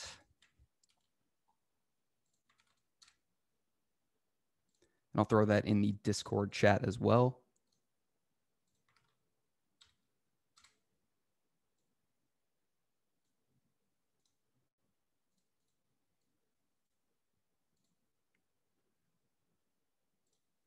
I'll get chat up here. Great exercise, Matt. Thank you so much for playing, Michael. Um, and uh, to everybody else, um, thank you so much for uh, attending. I hope it's it's working out for you guys. I hope you can walk away from this, move at your own pace, um, learn at your own pace, and I hope you can walk away having learned something. Um, I'll practice again tonight. Awesome, super fun stuff. Thank you, thank you, thank you so much. So I will say, um, it looks like nobody's gotten the correct number of flags at this point. I will give you the hint, and this hint is on the last page of the O course as well. Um, there are nine flags total. And so if you think there are four vulnerabilities and, and one additional one for the automatic SQL injection, that'll get you five. But there are four other ones that are Easter eggs um, that you might not have uh, gone found when, you know, if you're just using the web application as its intended course. Um, so think like a hacker. Try to find maybe some of the alternate routes there. Use the tools, uh, you know, combined using tools to try to find some of these other ones. Um, and go find nine flags. And if you can find nine flags, DM me uh, in Discord, and I will verify if they are correct. And the first ten people to do that will get their name immortalized on the GitHub page, along with their handle and a note if if you so desire, as long as it's appropriate. But all right, we've only got a couple minutes left. I think I'm going to sign off um, real quick before I go. A huge thank you uh, to Jen and Ben and Hacker One for putting this on. A huge thank you to everybody in the audience today. Please stay safe, guys. Um, please, I wish the best for you. I wish the best for your families uh, in these these unprecedented times. Um, and thank you to Tom um, from VetSec for putting me up to this. Uh, this. Is an absolute blast. I had a bunch of fun putting this lab together. Um, and uh, yeah, and thanks to our our uh, our MC uh, Roro today and uh, Wilson for the um, the talk earlier. And so my name's Matt, Husky Hacks. I guess I'll just do my little, little sign off here. Big thanks to Emily, my partner, Jen Ben Hacker I already said all that stuff. All of you participating. And that's my LinkedIn. And uh, I don't Twitter, um, but you can find me at huskyhacks.dev. Uh, and I am open to tutoring. Just email me huskyhacks.mk at gmail. Um, I do this stuff for free. I just I, I teach because I like teaching. So, and that's me. Thank you so much. Take care of yourself. I'll see you guys later. That was absolutely great. Thank you very much, Matt. Um, I wish I had had this kind of tutoring and mentorship when I was first starting out myself. It was just struggling through um, backtrack back then and trying to find my way through it. so this was like even helpful for me. This is great. Um, all right, so with that, I wanted to introduce our, our next speaker. Um, I think he's live in chat here, but we also have a video. So we're just gonna roll that in the next minute. Um, so Adam Sheffield um, is joining us from the Undercroft. He believes in challenging the status quo and brings this mindset to his role as the founder and CEO of the Undercroft. Um, so the Undercroft is a member-driven cybersecurity guild and development center located in historic um, Ybor City, Florida. Uh, they offer secure uh, workspaces, uh, tailored in, uh, resources, and focused programming uh, for individuals and organizations that seek to grow and advance in cybersecurity tools, um, secure innovation, and national security as well. So he's currently the co-chair of the USF uh, Cybersecurity Education Advisory Board and serves as the vice president of the Tampa chapter of the Military Cybersecurity Professional Association. Um, he's also a founding member and current president of the CyBOR, a uh, not-for-profit information security guild uh, housed in the Undercroft um, in Ybor City, Florida. And so with that, I think we're gonna kick off a about a 47 minute video on the journey through InfoSec and uh, starting the Undercroft. Good afternoon, everyone. Um, I hope everybody's enjoyed the speakers up to this point in this uh, wonderful event that's being put on by HackerOne, um, specifically with Veterans Day, literally right around the corner tomorrow. Um, these conversations are very necessary uh, for us veterans looking to find meaning and purpose in life post service. And uh, I want to thank Hacker One very much for inviting me to speak about my experience and how my journey has led to the establishment of the Undercroft, um, a cybersecurity guild and development center headquartered here in Tampa, Florida. I don't often talk about myself, um, and I found this uh, recording or, or actually uh, giving this talk to be somewhat difficult. In fact, I'm probably on about my eighth take right now of trying to work through, you know, really what I was asked to cover by Hacker One during this talk. Um, but I must thank the team over at Hacker One for lighting this fire under my rear end to begin speaking about my own experience in hopes uh, that it can help other veterans find a path to our industry.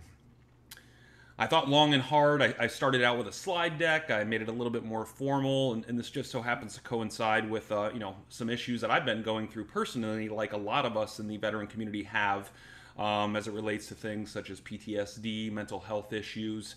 Um, and, and, that's only been compounded by what we've all experienced, even non veterans going through one of the craziest years on record, 2020, uh, starting with the, uh, the pandemic, um, obviously culminating in quite a contentious election here in the US. Um, once again, I think this, the timing of this event is great. Um, I'm really happy to be able to participate, and um, I'm, I'm, hoping that uh, by by giving a little bit about myself, um, I'll be able to help other veterans uh, in our, our tribe, so to speak, find their path in this industry.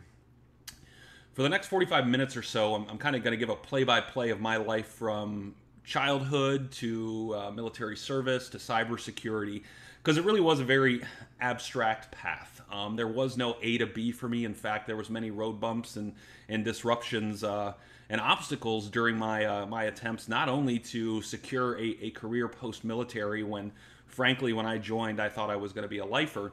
Um, you know, all the way to making it into the industry that I'm in now, um, cybersecurity, and having a lot of great successes along the way, um, as well as my fair fair share of failures which um, you know really helped me learn that you know failing's part of life and uh, and really emphasize that the best thing to do when you fail is to learn from that so you can be better um, the next time around. Um, kind of what I'll be talking about, like I mentioned, over the next 45 minutes, um, really is, personal to me. Uh, I hope it resonates uh, with you folks that are tuning in here. Um, and I'd like to kind of last comment before I jump in. If anybody would ever like to reach out to me, you can find me on LinkedIn. Um, I'll ensure that uh, the HackerOne staff provides my email address um, as part of the uh, the wrap up for the event. But I'm always open and appreciate feedback from other veterans. I'm still honing my public speaking skills, and, and more importantly, with, with what's going on in the world right now, I'm always willing to support other veterans in the community in any way I can, um, whether that be with you know personal issues they may be going through or folks that really want to to make that transition into security as a career field um, i'm always always happy to open my door open my my ears so to speak um, if it has to be done over a zoom call. But but i'm here to help. And the organization we've built down here in tampa the undercroft was really built around the foundational principles that we all as veterans hold dear um, primarily in trying to make a community of practice that can help not only veterans but others that are trying to make an impact in the cybersecurity field have a group that they can rely on over the course of a career for mentorship, guidance, motivation, um, things along those lines. So, without any much uh, any much more pop and circumstance, I'll kind of hop right into you know how I got started, um, really all the way from childhood, all the way up to uh, my initial years in the military, to separation, to defense contracting, to my pursuits in academia, and then finally to where I'm at today. So to really start things off, let me go ahead and grab a, a sip of coffee here, keep myself awake. Um, I was born and raised in Ohio. Um, born and raised uh, in a, a, small town in northwest Ohio. Uh, born to a single mother. Um, never met my biological father. It was an interesting time. I did not have a male father figure in my life until I was adopted by my stepfather um, when I was seven years old. And my mother worked her, her butt off day in and day out to provide for me as an only child um, and make sure I had the best the best opportunities at my disposal to the extent that she was able to um, to provide. And I think a lot of that really kind of shaped my my early experiences in life and really was kind of the motivation that made me want to ensure that you know when I got ready to have children or start a family that I was able to you know improve on what my mother had instilled in, in me at such a young age um, and really be able to you know pay back or give back to folks in the community that helped my mother and my and myself when I was younger um, trying to navigate you know the early years of my life so, you know, grew up in Northwest Ohio um, in a very Catholic family. So I actually grew up, uh, I went to an elementary school that was a, a Catholic school. So wearing uniforms uh, all the way from kindergarten through graduating eighth grade. While I was in elementary school, uh, in, in my first grade year, I was actually diagnosed with ADHD. Um, I know a lot of us in the cybersecurity community are familiar with that. I'm sure a lot of folks of my generation have probably had that same diagnosis. Um, it was interesting. So, you know, I struggled early on in school. I was not the best student. I was probably a straight C student. Um, it wasn't until I met, uh, it was actually one of my first grade teachers that realized I had a real knack for reading and analysis. And one of the nice things, or one of the, one of the things that I would say I was blessed with, was having some teachers that recognized some of the things that I was good at and would actually let me, you know, take a step back from the formal curriculum that was offered in the elementary schools at that time and, and go off uh, in the corner of the room with a little potted plant on my desk and, and read books. I remember reading uh, the book Sphere um, from front, to cover in about a week, week and a half um, when I was in, uh, in first grade. And that's really how I started to learn to deal with um, uh, an ADHD diagnosis. It really helped me be able to focus, um, focus my uh, efforts um, in productive areas um, and, and, helped me kind of become a better student in the process. Um, you know, kind of remained a medi- mediocre student throughout middle school and elementary school. I really didn't hit my stride until high school. And I started high school to kind of date myself uh, in 2000. So this was the year before uh, 9/11, which I know was a, uh, a major uh, major event in a lot of veterans my age uh, in their history, and a, and a lot of us. It's one of the reasons we decided to sign on the dotted line and serve our country. So when I hit high school, you know, the first year I did okay. It was in that, that sophomore year after 9/11 happened, and, and after you know I'd been adopted by my father in middle school, who was a retired intel officer, that I knew that I wanted to uh, to be in the service. So I really started having a goal early on in high school um, of serving in the U.S. military. So I worked my butt off um, uh, for my studies. I, I, ran track. I ran cross country. Really started laying the foundations to to be able to excel in a uh, in a military career, and my goal as of my sophomore year was to go to West Point. Um, and that really was that kind of spirit of service that, that drove me in my uh, in my early years. So fast forward to my, my my senior year in high school, you know, I went through you know everything. I applied for scholarships. I actually went through the formal West Point application process, and I was lucky enough to actually get the congressional nomination um, to be able to um, start at West Point uh, after I graduated high school. The only thing standing in my way at that point was the uh, Dodmerb uh, physical. For any of you that are familiar with that, much like the standard physical we would go through as an enlisted person. This also happened to be before um, anybody had told me that you always lie to the recruiter. so I show up for my uh, my Dodmerb physical, and you know everything seems to be going just fine. I get close to the end of the appointment, and the uh, the question comes up about uh, medication. Have you ever been diagnosed with uh, any conditions and uh, had to take a medication for that? um, in your youth. And me being naive, uh, you know, brought up the fact that I was diagnosed with ADHD in first grade, and I was uh, on uh, medication for most of my uh, academic career at that point um, to be able to help with focus and help myself, uh, you know, be able to achieve the grades that I actually needed to achieve to be able to achieve my goal of going to West Point um, and serving as an officer in the United States Army. Um, left the Dodmerb physical thinking uh, everything went perfectly well and, and, that was the last step and uh, everything would be good to go from there. About two weeks later, I got the letter in the mail that said, You are unfit for military service, primarily because of the uh, ADHD diagnosis um, and the fact that I had been on medication. Um, primarily in my middle school years, um, even though I had tapered off that medication in high school. So I did what any uh, young, uh, motivated, maybe not so wise uh, uh, individual would do at 18 years of age, and I went to the first recruiter I could find and signed on the dotted line to enlist in the U.S. Army um, with a chosen MOS of infantry. Primarily because I grew up outdoors in Northwest Ohio, I had shot for the state rifle team. You know, my generation was was I don't want to say lucky enough, but you know, with 9/11 and the subsequent invasion of Iraq, you know, that was the first live televised invasion of a foreign country in American history. So I remember, you know, in my sophomore, junior, and senior years, uh, as the uh, the war in Iraq was kicking off, you know, I'd stay up till 2 a.m., 3 a.m., being able to see in real time um, what was happening uh, overseas, which also led me to pick uh, pick that MOS as my uh, desired career field. So, you know, I I graduated from high school 2004, shipped off to uh, Fort Benning, Georgia, a lovely sand hill, um, to knock out my one station unit training for uh, infantry. Um, in hopes of you know pinning on my uh, uh my blue cord and my crossed rifles uh, at the end, which I, I, did do. At that particular point, you know, kind of did the the normal military thing. my first deployment came up in 2006, 2007 um, when I deployed to Iraq um, to Nineveh province, um, actually Tel Afar, for those that uh, um, are, are, familiar with, uh, with the area over there. And uh, it was at that point, you know, I was not married, had no kids, didn't have a house, had nothing holding me back. It was a rough deployment. Um, we were actually present for uh, one of the, actually about two to three blocks away from the largest VBIED um, to be detonated since the beginning of the Iraq War. Um, happened on March 26th in a uh, primarily Shia district um, in northwestern Tel Afar. And after that happened, I kind of knew, you know, my life is is dedicated and devoted to service at this point. And and it was my goal, you know, coming back from that deployment um, when my time was up. Um, after I spent about another year and a half um, in a training role, training other folks that were getting ready to deploy to Iraq and Afghanistan, that I wanted to go uh, go get my bachelor's degree in order to uh, become an officer in the U.S. Army. So I left active duty in late, uh, I believe it was late 2000, uh, 2008. Moved down here to Tampa, Florida, um, to finish up my bachelor's degree, which I started working on in uniform, um, but uh, was trying to finish up the last two to three years of my degree here in Tampa.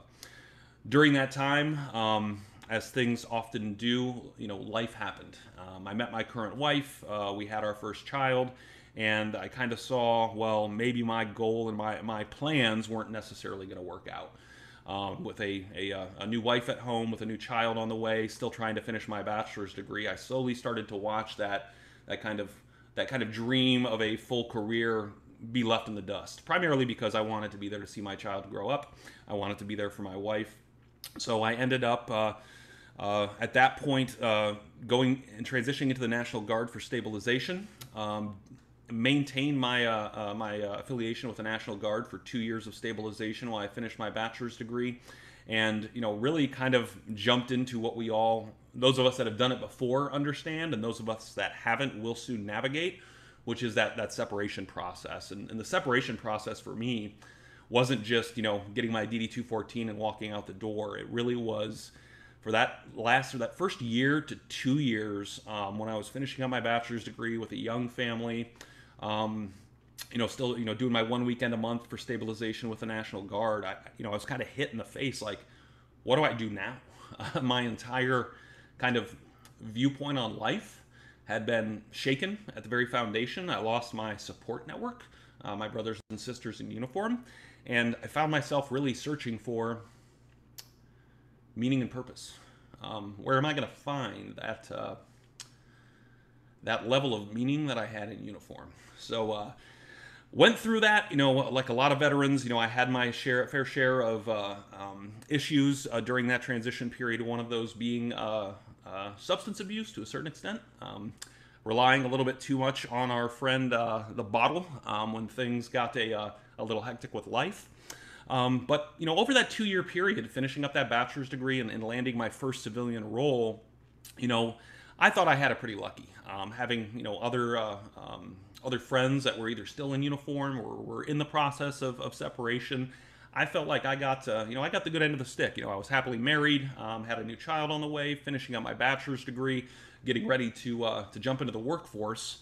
Unfortunately, it was a, uh, a, Great Depression going on at that time, or should I say recession? But you know, I, I really thought I was lucky, um, finishing my degree um, and getting ready to start a new chapter in my life. So, you know, finished up my bachelor's degree in 2010. Um, was lucky enough to actually have a job offer uh, before I finished my last semester, um, working for a technology company here in Tampa, where I had the opportunity to kind of keep one foot in the military side of the house, um, although not in uniform, um, but also be kind of operating as a, a, uh, a member of the, uh, um, the corporate workforce. So, for the first year of my post military career, my responsibilities were, excuse me, um, helping to identify um, individuals to support government contracts um, here at U.S. Special Operations and U.S. Central Command here in Tampa, Florida. So this was really this first year, me being a motivated uh, prior service member, jumping in. I wanted to learn everything I could about defense contracting, not just what my task at hand was, which was, for lack of a better word, putting butts in seats with the appropriate clearance and skill set uh, to perform against the requirements that both of these commands had um, here in Tampa Bay. So did that for about a year and, and after a year you know working for this large technology company i just i had this feeling that you know this wasn't where i wanted to be um, you know, I was, yes, I still had kind of that tie to the DoD community, but I was not surrounded by any other veterans. I didn't have any other colleagues within that uh, particular company that really had a background similar to mine. Um, and it was at this point, you know, I had come off uh, my uh, uh stabilization with the National Guard, and, and, a week after that, a week after I left uh, the National Guard, I just I had a breakdown. I was like, I, I can't imagine, even if it's not, you know, part time or full time, I can't imagine not being in uniform. So I immediately ran out the door um, to uh, another recruiter, in this particular case, a reserve recruiter, and said, Hey, you know, I just separated from the um, um, from active duty, from the National Guard on stabilization. My MOS is 11 Bravo. I really want to get back in uniform. You know, even though it'd just be one one week at a month, two weeks a year. You know, what what's available for me? So they went through, you know, looked at my ASVAB scores, my NCOERs, my performance, and uh, I remember getting the call from the recruiter saying, you know, Adam, your, your background, you know, with the scores you've had, you know, the foreign language capability you already have, you'd be a great candidate for the intelligence community or the intelligence field.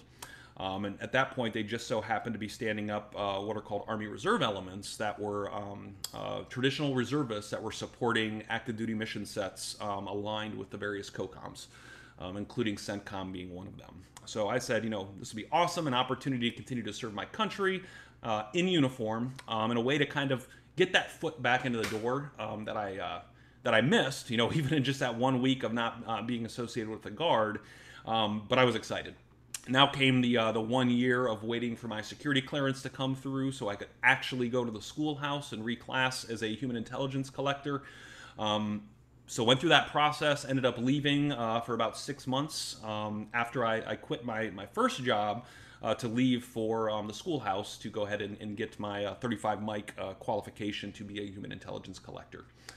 Um, once I finished that up, I, I, came back down here to Tampa, you know, with a newly minted security clearance and intelligence training, and uh, you know, ready to look at, you know, how can I put this to use in my civilian career in a way that's a little bit more, you know, once again, fulfilling and meaningful to me personally, where I actually could at the end of the week, at the end of the month, at the end of the year, be able to sit back and say, hey, I am still making an impact in, a, in an area that I feel very passionate about. So, interestingly enough, at that point, this was the first startup I had the opportunity to work with was a DC-based um, uh, defense contracting startup called Concepts and Strategies. And this is really how I kind of made that transition into what people nowadays refer to as cybersecurity. So um, I realized from my previous experience working for that larger technology company that you know big corporate America wasn't for me. I did not like the structure. I did not like the fact that you know I'd sit there with an SOP handed to me saying, "Hey, you have to do things like this. We don't care about your input about any other aspect of the organization. We want you to show up every day, do your job, and go home." And to me, that just it stifled my creativity. It stifled everything that I had learned in the military, specifically as an infantryman, where you know, we push decision making authority and delegate that down to the lowest level possible. So I kind of found in working with uh, concepts and strategies, my first true startup experience, I found you know where I wanted to be. I, I wanted to be able to be part of building something from the ground up, building something from scratch, um, being able to kind of chart the future for myself within an organization. Because if you've ever worked for a startup before, you, you understand that you know, a job description is just that, a job description. In a startup, you're often wearing many different hats. You could be asked to do something that you have no familiarity with at any given moment. And I always liked that challenge and the ability to really kind of think creatively, think critically, and solve solve problems. So ended up with this organization doing some really interesting work. We had started a, um, a pilot program, and this probably would have been in about the 2013 timeframe so right about when the Arab Spring was popping off um, overseas, specifically in the CENTCOM area of responsibility. And this pilot program, you know, was kind of the precursor to a lot of things that are now associated with the cybersecurity field. So I supported a lot of uh, what are called military information support operations and information operations programs, where we were really looking at um, really as the Arab Spring was unfolding, um, how we could build teams of digital natives with language capabilities to really identify um, online through regional blogs, through social media, kind of keep our finger on the pulse of what was happening during the Arab Spring. Um, and how extremist ideologies were, were penetrating the information environment or shifting perceptions in that sphere. I absolutely loved what I did. Um, I, I, had the opportunity to build a team of very bright um, uh, young analysts um, with native language proficiencies, many of them former service members um, that had served in uniform before getting into contracting. And really, this role allowed me to build my network, um, to, to find these people that could support these types of projects. I found myself you know, traveling, you know, monthly to various universities across the country, whether it be uh, Georgetown in Washington, D.C., University of Wisconsin Madison, um, academic institutions that were known for having very good language programs or regional and cultural study programs. Um, and, and, convincing these individuals to take a chance on leaving these these cultural hubs such as a Washington D.C. to move down here to uh, what many people would view as you know redneck Tampa, Florida, um, to support some of these projects we were working on for U.S. Uh, U.S. Central Command. So I did that for about two and a half years, um, and this was, you know, the 2013, 20, or excuse me, this was the uh, 2011, 12, and 13 timeframe. And then come 2013, this was really when the first round or first uh, notion of sequester came across uh, uh, my desk, which for those of you that have lived through it on the defense contracting side, you know, really sucked. When we were having to deal with continuing resolutions, funding getting held up um, due to political infighting and squabbling. And I'd have to go tell my employees out on site, hey, you know, the customer still wants you to go to work, but they're not going to be able to pay us, so we can't pay you. Um, I really did not like that, considering we were doing some amazing work, had some amazing people. And it was at that point that I realized, you know, as much as I like defense contracting, it it didn't provide the stability um, that I was looking for long term. And what I mean by that is the ability to maintain continuity of operations for our customers And also, what I noticed was a lack of the ability for us to deliver innovative solutions to our clients or our customers. Primarily because at that time, you know, you were competing on price, um, and it really was here's what I need as a customer. You, as a contractor or a provider, I want you to tell me how you're going to provide what I want. Not necessarily, this is the concept. How would you go about implementing this or, or, or uh, solving some of these problems for us? And then, really, to kind of, you know, hammer the point home during sequester when we were up for rebidding some of our contracts as a lot of the work was starting to dry up from the big surge in the early 2000s we saw a lot of the larger um, defense contractors coming in and going after the work that normally we as a small business you know had the opportunity to make a larger impact in so it was at that point that i, I started kind of putting my feelers out there you know what's next um, what's next in my career what's next in my life and and it just so happened with all of my travels to various universities to find talent to support um, our programs, I had I had built a really good network of uh, professors within ac- academia, um, specifically here at USF. Um, a, a, very uh, a very astute professor named Dr. Mohsen Milani, who runs the Center for Strategic and Diplomatic Studies out at USF. And uh, you know, I'd had lunch with him. Mentioned I'm kind of looking for my next challenge. I was a little bit fed up with the defense contracting community, and, and he said, "Hey, Adam, you know, out here at USF, they've got this, and bear in mind this was uh, early 2013. Um, they've got some initiatives in place. They, they want to create a state center to support cybersecurity." And I was like, "Oh, that's that's really interesting. Um, you know, kind of aligns with what I was doing on the IO side." And he mentioned they were looking for somebody that had relationships within the DoD um, that had a, a uh, an interest in veteran transition. So how can we take folks that are separating from the service and uh, and plus up or thicken the pipeline of talent available to uh, stakeholders here in the state of Florida? And, and, I immediately jumped on. I said, you know, this sounds like a great initiative. How can I help? And uh, in late 2013, I actually got uh, a job offer to uh, go join USF as an administrator um, working with the then director, um, Sri, in putting together the plan and proposal to um, stand up in 2014 a state center that would focus on three primary initiatives. Um, education. Um, how do we increase throughput of folks with the skill set necessary to make an impact in cybersecurity? Research. How do we how do we facilitate and uh, and catalyze outside the box thinking and research that can lead to new solutions um, to solve existing challenges in the cybersecurity domain. And really, from a, a, state standpoint, you know how that research engine could lead to new startups um, here in the Tampa Bay area that could ultimately grow high wage, um, uh, high impact careers for folks coming out of workforce development programs statewide. And then finally, the, the last thing we focused on was outreach. So, how do we educate the general public? Um, here in the state of Florida on the threat that security pose or poses. And you know, remember this is 2013, 2014. Um, before the year 2020 came around, before you know everybody's grandmother and grandfather are getting your uh, your Nigerian prince calls, so it really was a great concept uh, and a great idea, and I was really excited about the opportunity to go to academia, where you know from the outside looking in, seemed like that place that I'd always been looking for, where I could put my my creativity to work where I could help others and really, you know, I looked at it as, you know, it's not always just going to be the bottom line that drives decision making. This is a place where we can take risk. This is a place where we can try new things. So I kind of jumped in head first in 2013, 2014, um, helped write the plan and, and push it through the legislative process to get the Florida Center for Cybersecurity established in state statute in uh, 20, uh, 2014. And from there, my role really kind of shifted um, to being the associate director of the center, focusing on um, non traditional workforce development. Um, so, how can we look outside the bounds of a traditional undergraduate or graduate degree program to accelerate talent to the market? And then also focusing on uh, military partnerships. So, how can we work with um, the military institutions uh, and, and, service components, whether it be COCOMs like Central Command, U.S. Special Operations Command, the Modeling and Simulations Hub out in Orlando, um, all the way down to U.S. Southern Command down uh, in the Miami area.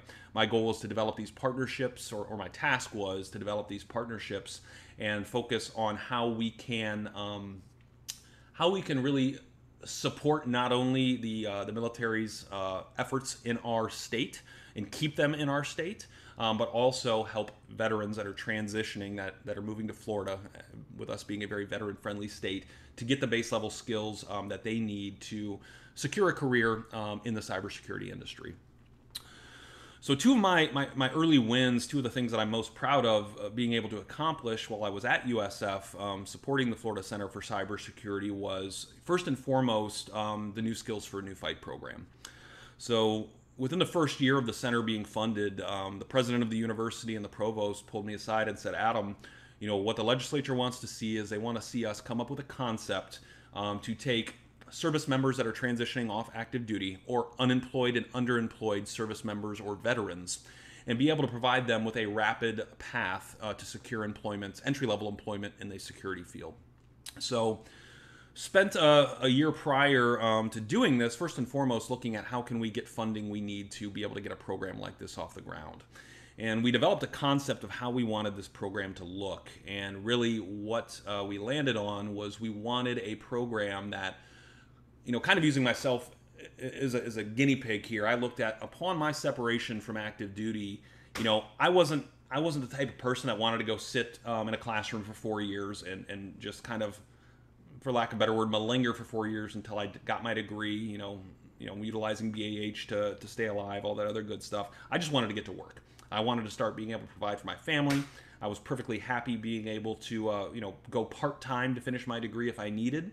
So we really took the opportunity to reach out to folks that are veterans that are already in the security field and folks that were considering going into the security field to say, you know, how could we structure a program that would allow you to go from zero to hero, um, so to speak, for an entry level role, really focused on uh, entry level analyst positions here in the local area, primarily because it's a great opportunity. We could train a veteran to be an analyst in less than a year um, with our network of employers that were beating down our door saying we can't find talent, um, we knew we could get them into these entry level roles, which, you know, looking at my transition, my first full time job out of the military was making $30,000 a year, um, which was a big pay cut from, uh, you know, when I was an E5 on active duty. And, uh, a lot of jobs we saw here, entry level roles in security, were paying anywhere from forty to seventy-five thousand dollars starting. So we built a program called New Skills for a New Fight uh, around this concept. It was a three-phased program that consisted of a um, academic underpinning um, in the first um, semester, I'll, I'll, call it the spring portion of the program, which was really to lay the theoretical foundations of what any good analyst should know basic uh, computer science, um, basic uh, programming skills, basic information security. Um, and really, the goal was to provide that foundation that would then lead into an intensive course of study or period of instruction taking place during a summer semester um, here in Tampa, where we actually replicated a security operations center um, on uh, campus at USF, where our students, um, of which we had 20 um, that were sponsored by a grant from JP Morgan Chase Foundation, went through a, a formal period of instruction on how to be an effective analyst, focusing primarily on practical skills um, applying what they learned in that spring uh, session that was theoretical leading into what would become the third phase of the program in the fall was uh, the equivalent of on the job training. So we worked with our employer partners in the region to be able to take these folks out of their summer um, intensive program of instruction and drop them into a security operations center as an employee being able to make money um, provide for their families get a jump start on building the experience they need to progress in the field um, while also being able to finish their bachelor's degree part time, either in the evening or online, or online, while they were actually working and providing for their family. So, was very proud and very happy with that program. And from there, you know, the other program that I was able to stand up was um, actually uh, myself and uh, some representatives from eight other university, very uh, veteran-friendly universities here in the U.S., were able to uh, make a collective push to secure a federal um, appropriation to stand up a program called the NSA P3 program, which provided uh, full scholarships to uh, separating service members that were interested in moving into security uh, career field. So this scholarship would provide, without them having to touch their VA benefits, 100% tuition, a uh, living stipend, a, uh, a, stipend to purchase a new computer if theirs was not uh, appropriate for the course of study they chose, as well as funding to attend a security conference once a year while they were navigating um, the course of their program. So, um, launched that program, kind of coinciding with the New Skills for a New Fight program. Really, what what my time at the University of South Florida, the, the three years that I spent there, allowed me to do was really find refuge in helping other veterans because I didn't realize it, but during that time I was struggling myself, still not getting fully over that um, that transition. And by being surrounded by other veterans um, that were all all of us kind of shared that collective mindset and collective you know notion of selfless service, being able to help them find a way to continue that post military was very fulfilling to me. Um, with that said, I also found being in academia that it was very, very difficult, you know, kind of going there thinking this is a place where you can take risks and launch new programs. It really wasn't everything I expected, primarily because, you know, USF is a public institution and things move slow in academia. So, come, uh, you know, late 2016, you know, had, had done my part in helping get the center going. You know, we had a great team out there. Um, we're really working uh, great partnerships and great programs across the state university system. I went to, to my supervisor and said, Sri, I'm, I'm ready for my next challenge. I'm here to help you guys any way I can, but I really want to focus 100% on how we can develop non traditional pipelines of talent, not only for veterans, but for folks, whether they're displaced or underemployed or unemployed. How can we get them, if they have the right mindset and the passion for this career field, they're not just in it for the money, how do we get them the uh, the tools they need to make that that transition and gain those skills effectively? So in late 2016, I put my notice in at the uh, um, University of South Florida and left to join a, uh, a seed stage startup called SecureSet Academy out of Denver, Colorado. I had met the founders of SecureSet through a mutual friend of mine uh, that had happened to be at the Pentagon um, while we were working on the NSA P3 program. And he knew I was getting a little bit, um, I wouldn't say upset, but I was getting a little bit burnt out in the academic uh, field. And he said, Hey, Adam, I'm going to introduce you to Brett. I think you guys have a lot of uh, common ideas around education and security. Um, and I know Brett's really looking at, um, you know, ex- extending what they've done in Denver to other cities. So uh, in 2017, I was charged with um, standing up the first campus of SecureSet Academy outside of Colorado um, here in Tampa, Florida.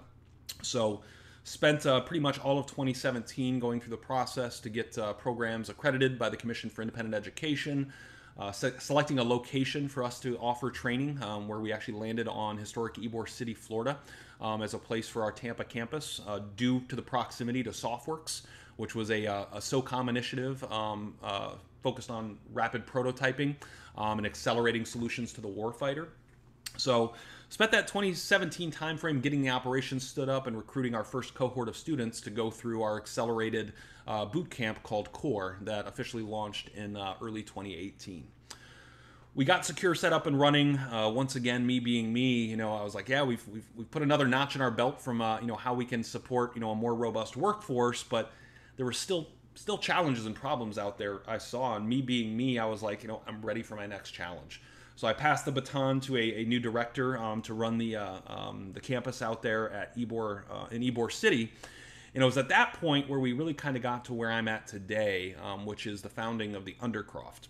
And the Undercroft itself started with a, a white paper that myself and a few other members of the uh, the security community here in Tampa had written um, when I was in the process of standing up the Florida Center for Cybersecurity. And what we were kind of our hypothesis or what we were looking to accomplish is we looked at really the Tampa Bay region as a whole. We know we have workforce challenges, employers are having difficulty finding entry level talent, but we knew there was so much talent here, raw talent, and there was also many existing security practitioners that nobody knew about. And nobody knew about them because, you know, as a security practitioner, now more than ever post COVID, you have the ability to work remote in most cases. So we had a very high concentration of very experienced, very well known, um, very good security practitioners here in Tampa that never had really the opportunity or platform to engage with what we call at the Undercroft aspiring security practitioners. So folks that are looking to transition to the security field that really don't know where to get started. Um, and, and, one thing really stuck with me from my time at SecureSet. One of the co-founders, Alex Kreilein, had written a uh, an article called "Marketing is Killing Cybersecurity," and I looked at this from a, a workforce standpoint and kind of looked at some of the challenges we had with producing quality candidates in some of my earlier programs that I had put together, or even in traditional academic programs. And what we had continued to see was kind of this proliferation of a marketing message coming out, you know, on the workforce side that, hey, do you want to make six figures? Join our program and go into cybersecurity.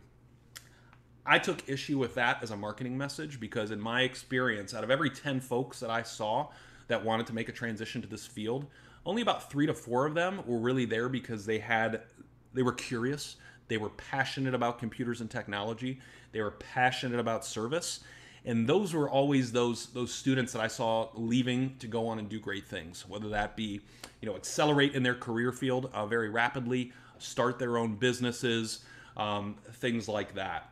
So we really looked at you know how do we kind of focus at the lower levels of the community instead of the higher levels you know whether that be enterprise security companies you know big groups like issa what have you.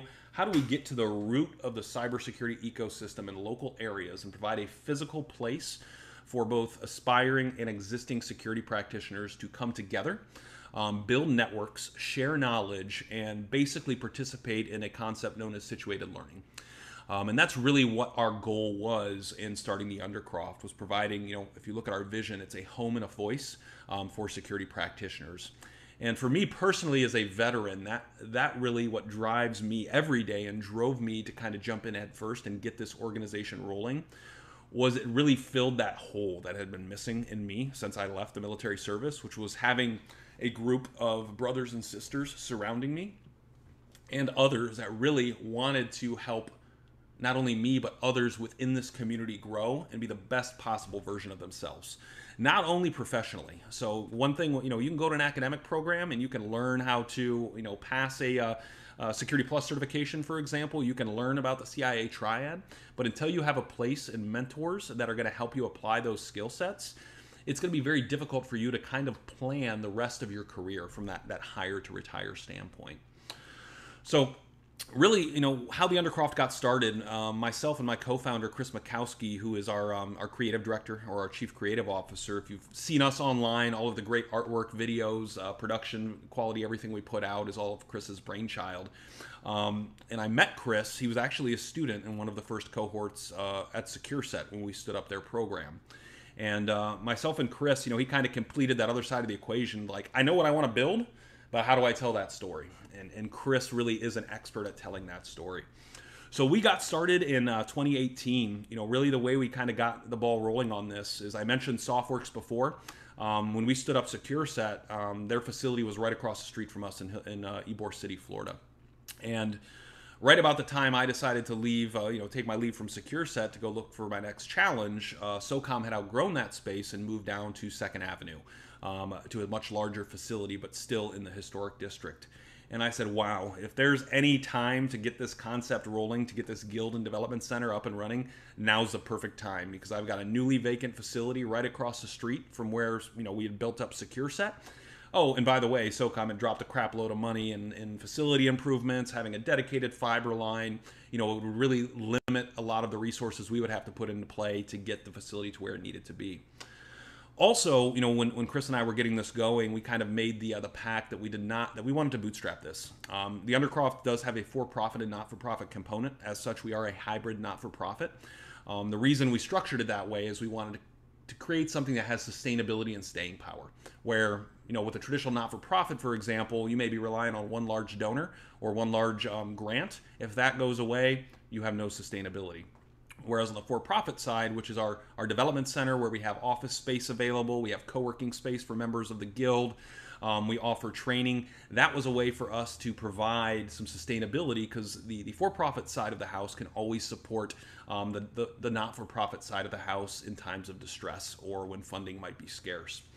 So we started in 2018. The first six months, you know, we started with a $22,000 investment of my own money and a small um, SBA Veterans Express loan uh, for $125,000. We said we're going to get in here, we're going to work our butts off, we're going to put in a bunch of sweat equity. Uh, myself and Chris spent the first six months of 2018, you know, painting and patching walls, purchasing furniture, building furniture in many cases because we didn't have a huge budget. Um, really leading up to which what, what was our um, our, our soft launch or our, our soft opening, which was in July of last year, when we ran a Kickstarter campaign that really anchored the foundation of our guild. Um, our founding members, as we called them. So going into July, we had anchored our uh, our facility with a couple of what we call residents, which are either cybersecurity startups or cybersecurity companies from outside of the state of Florida that are looking for um, flexible office space to actually establish a presence in Tampa um, and uh, uh, rapidly scale and grow and ideally hire folks from uh, the guild, which is co-located right there with the development center. So we got Kickstarter going. We hit our goals. Um, we started growing our membership base. Started really uh, filling out all of our resident space um, as we went through 2018. And then as we went into 20, or excuse me, 2019 at this point, going into 2020, we were looking we were looking really good. The guild was growing. We were ready to start uh, tackling some larger partnerships um, in the community uh, to continue to grow the support and the resources available for the guild to continue to learn and develop and produce new cybersecurity practitioners. Then all of a sudden, as we all know, COVID hit. And uh, when COVID hit, myself and Chris, we looked at each other and said, I don't think we're going to survive this. Um, obviously, with most of our, our, our, our, business built around the fact that we have a physical building for the security community to congregate, um, for our residents to be able to have workspace, with everybody going remote, we were like, this just isn't going to work. Um, so we were getting ready to kind of, you know, shutter up and, and, shut the things down, but we took a little bit of a dip, uh, actually a pretty substantial dip when we had quite a few residents that uh, transitioned to full remote. Um, we did lose um, quite a few members early on because we had built our concept around, you know, person-to-person events. So actually being together physically as a community, um, and that just disappeared overnight. And uh, this is one area where I'll give give Chris a lot of credit. You know, we looked at well, how can we continue to keep this community active when we can't get together physically, and uh, we were able to really within probably the period of one to two weeks totally pivot our ability to deliver our weekly content that we did for the guild to um, streaming and online. Um, and we really focused very heavily on that during the uh, uh, the March and April timeframes when we were kind of weathering the storm here and and things just sort of happened and, and the hope came back when we saw you know our members were still participating. Um, we would get messages from from some of our members saying hey you know this covid's got me really down. Um, you know i'm a single father. I got two kids at home. I'm trying to juggle a full-time job and you know taking care of homeschooling. I'm so happy that this community community is still active even though we can't be there in person. This has really kept me from circling the drain during this time. And and that really was you know great motivation for me the rest of the team and the rest of the membership base to say hey we're going to push through this and we're going to make this organization survive this pandemic to to which we did. So you know i'm kind of running up on time here but uh, you know that's kind of my story um, and how we got to you know i mentioned the roadblocks all the way from childhood to you know my early educational career in middle school and high school to my dreams being dashed when I wasn't able to pursue or really, you know, take take and, and pursue my dream of being a West Point graduate. Um, and I just kind of bounced around for a while and, and, and finally in the security field found that meaning and that purpose that I had been looking for. Um, since we've started the Undercroft, you know, if you ask any of our members, we, I always say we have our roots in the military. Um, I'd say about 70 to 75% of our membership base are military veterans. And uh, we'll continue to tout that because we do operate in a way a lot like a, a, military organization and that really really helps us continue to swell the ranks of the guild and provide opportunities for people to develop not only personally but prof- professionally not only in their chosen career field being cybersecurity but also you know from anything from a mental health standpoint to a physical health standpoint being able to provide that community where we all have somebody to lean on as we each navigate our own path in this uh, in this massive, expansive, and rapidly growing career field. So, with that said, I want to thank HackerOne very much for letting me kind of tell my story today. Um, I know I didn't have any slides. I did that on purpose. Um, I mentioned this. Uh, it's difficult for me to talk to myself, but um, I, am really thankful for being invited to talk about um, myself and the Undercroft today. And as I mentioned before, anybody that's participating in this event, you know, whether you're, you're in the Tampa area, whether you're not, whether you're on the fence about a career in cybersecurity, whether you're already in the career field and looking to start your own company or anything like that, my door is always open. Uh, feel free to reach out to me via email. Um, check out our website, www.theundercroft.net. We do have opportunities for folks that aren't local to Tampa to engage with the Guild um, as we continue to grow. So I would really encourage you to take a look at us. Um, if you ever have any questions, even outside of that, just for me personally, feel free to hit me up on email or LinkedIn. I'll be sure that the uh, the HackerOne team has that to share. With that said, everyone, thank you very much for uh, for joining me and listening to my uh, my talk here. Um, I look forward to uh, continuing to push what we're doing down here in Florida um, to the next level. And I wish everybody the best um, as we go into uh, the holiday season. Um, and, and, obviously, with Veterans Day, I thank everybody um, for their service. Um, with that said, thank you all very much. All right. Uh, so, with that, thank you uh, to the recorded version of Adam. Um, it was very good. Uh, so, I just kind of wanted to close it out. It's been kind of a long day, uh, but I think very good in terms of all the different discussions we've had, starting with uh, Wilson on the path to transitioning sort of out of the military with, with lessons learned about how you can apply the same methodology to finding your next uh, career move uh, within cybersecurity as well. To um, Tom with VetSec, uh, that was a great short little 10 minute discussion uh, around the VetSec community.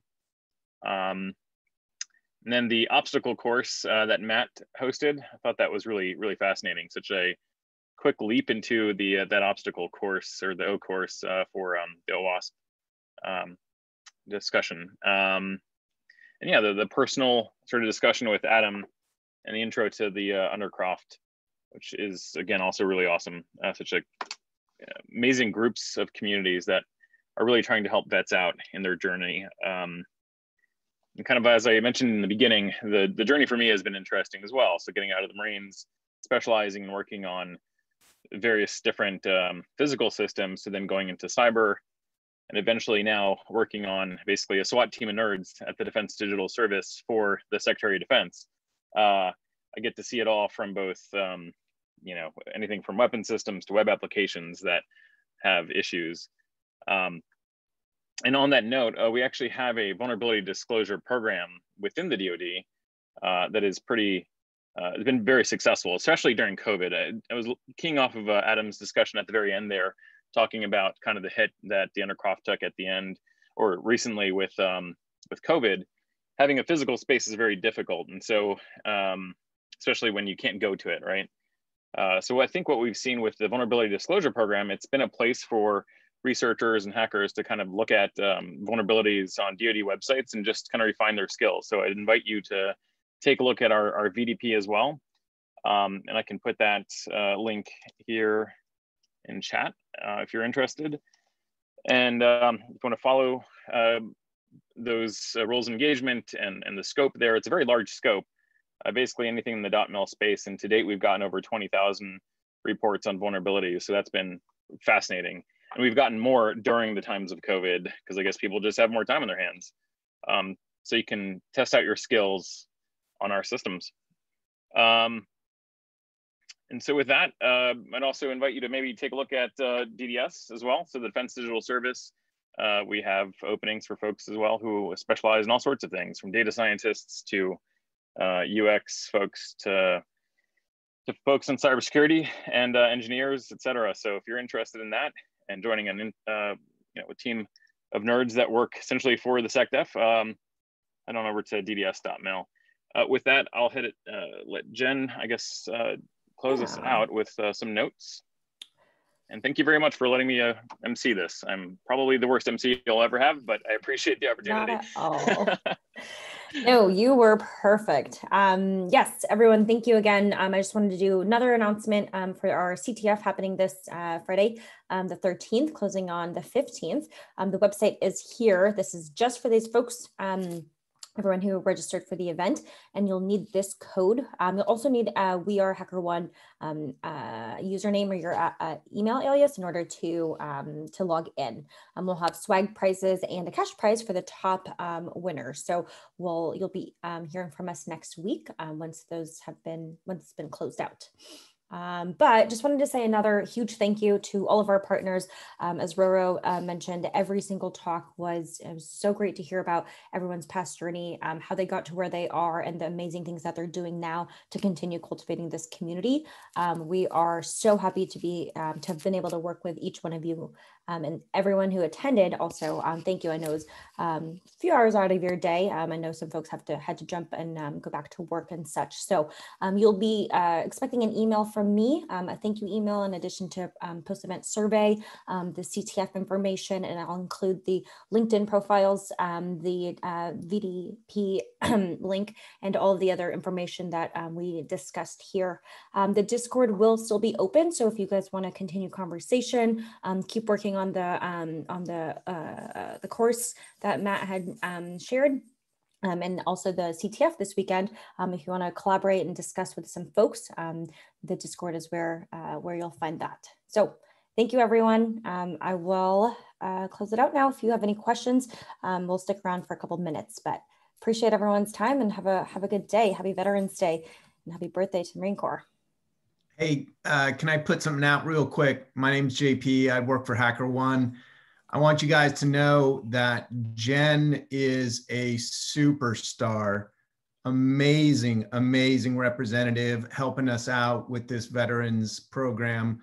Um, there are a few of us in HackerOne that are veterans, and Jen came to us and said she wants to do this, and she killed it. You guys, huge shout out to Jen. She's done an amazing job. Thank you to all the speakers. Thanks for everyone for joining. Appreciate it, Jen. Thank you. Yes, and thank you. Thank you to the supporting team as well. Um, all those veterans and folks who volunteered um, within HackerOne who um, helped to push and drive this um, event. So again, thank you everyone. Have a good have a good day.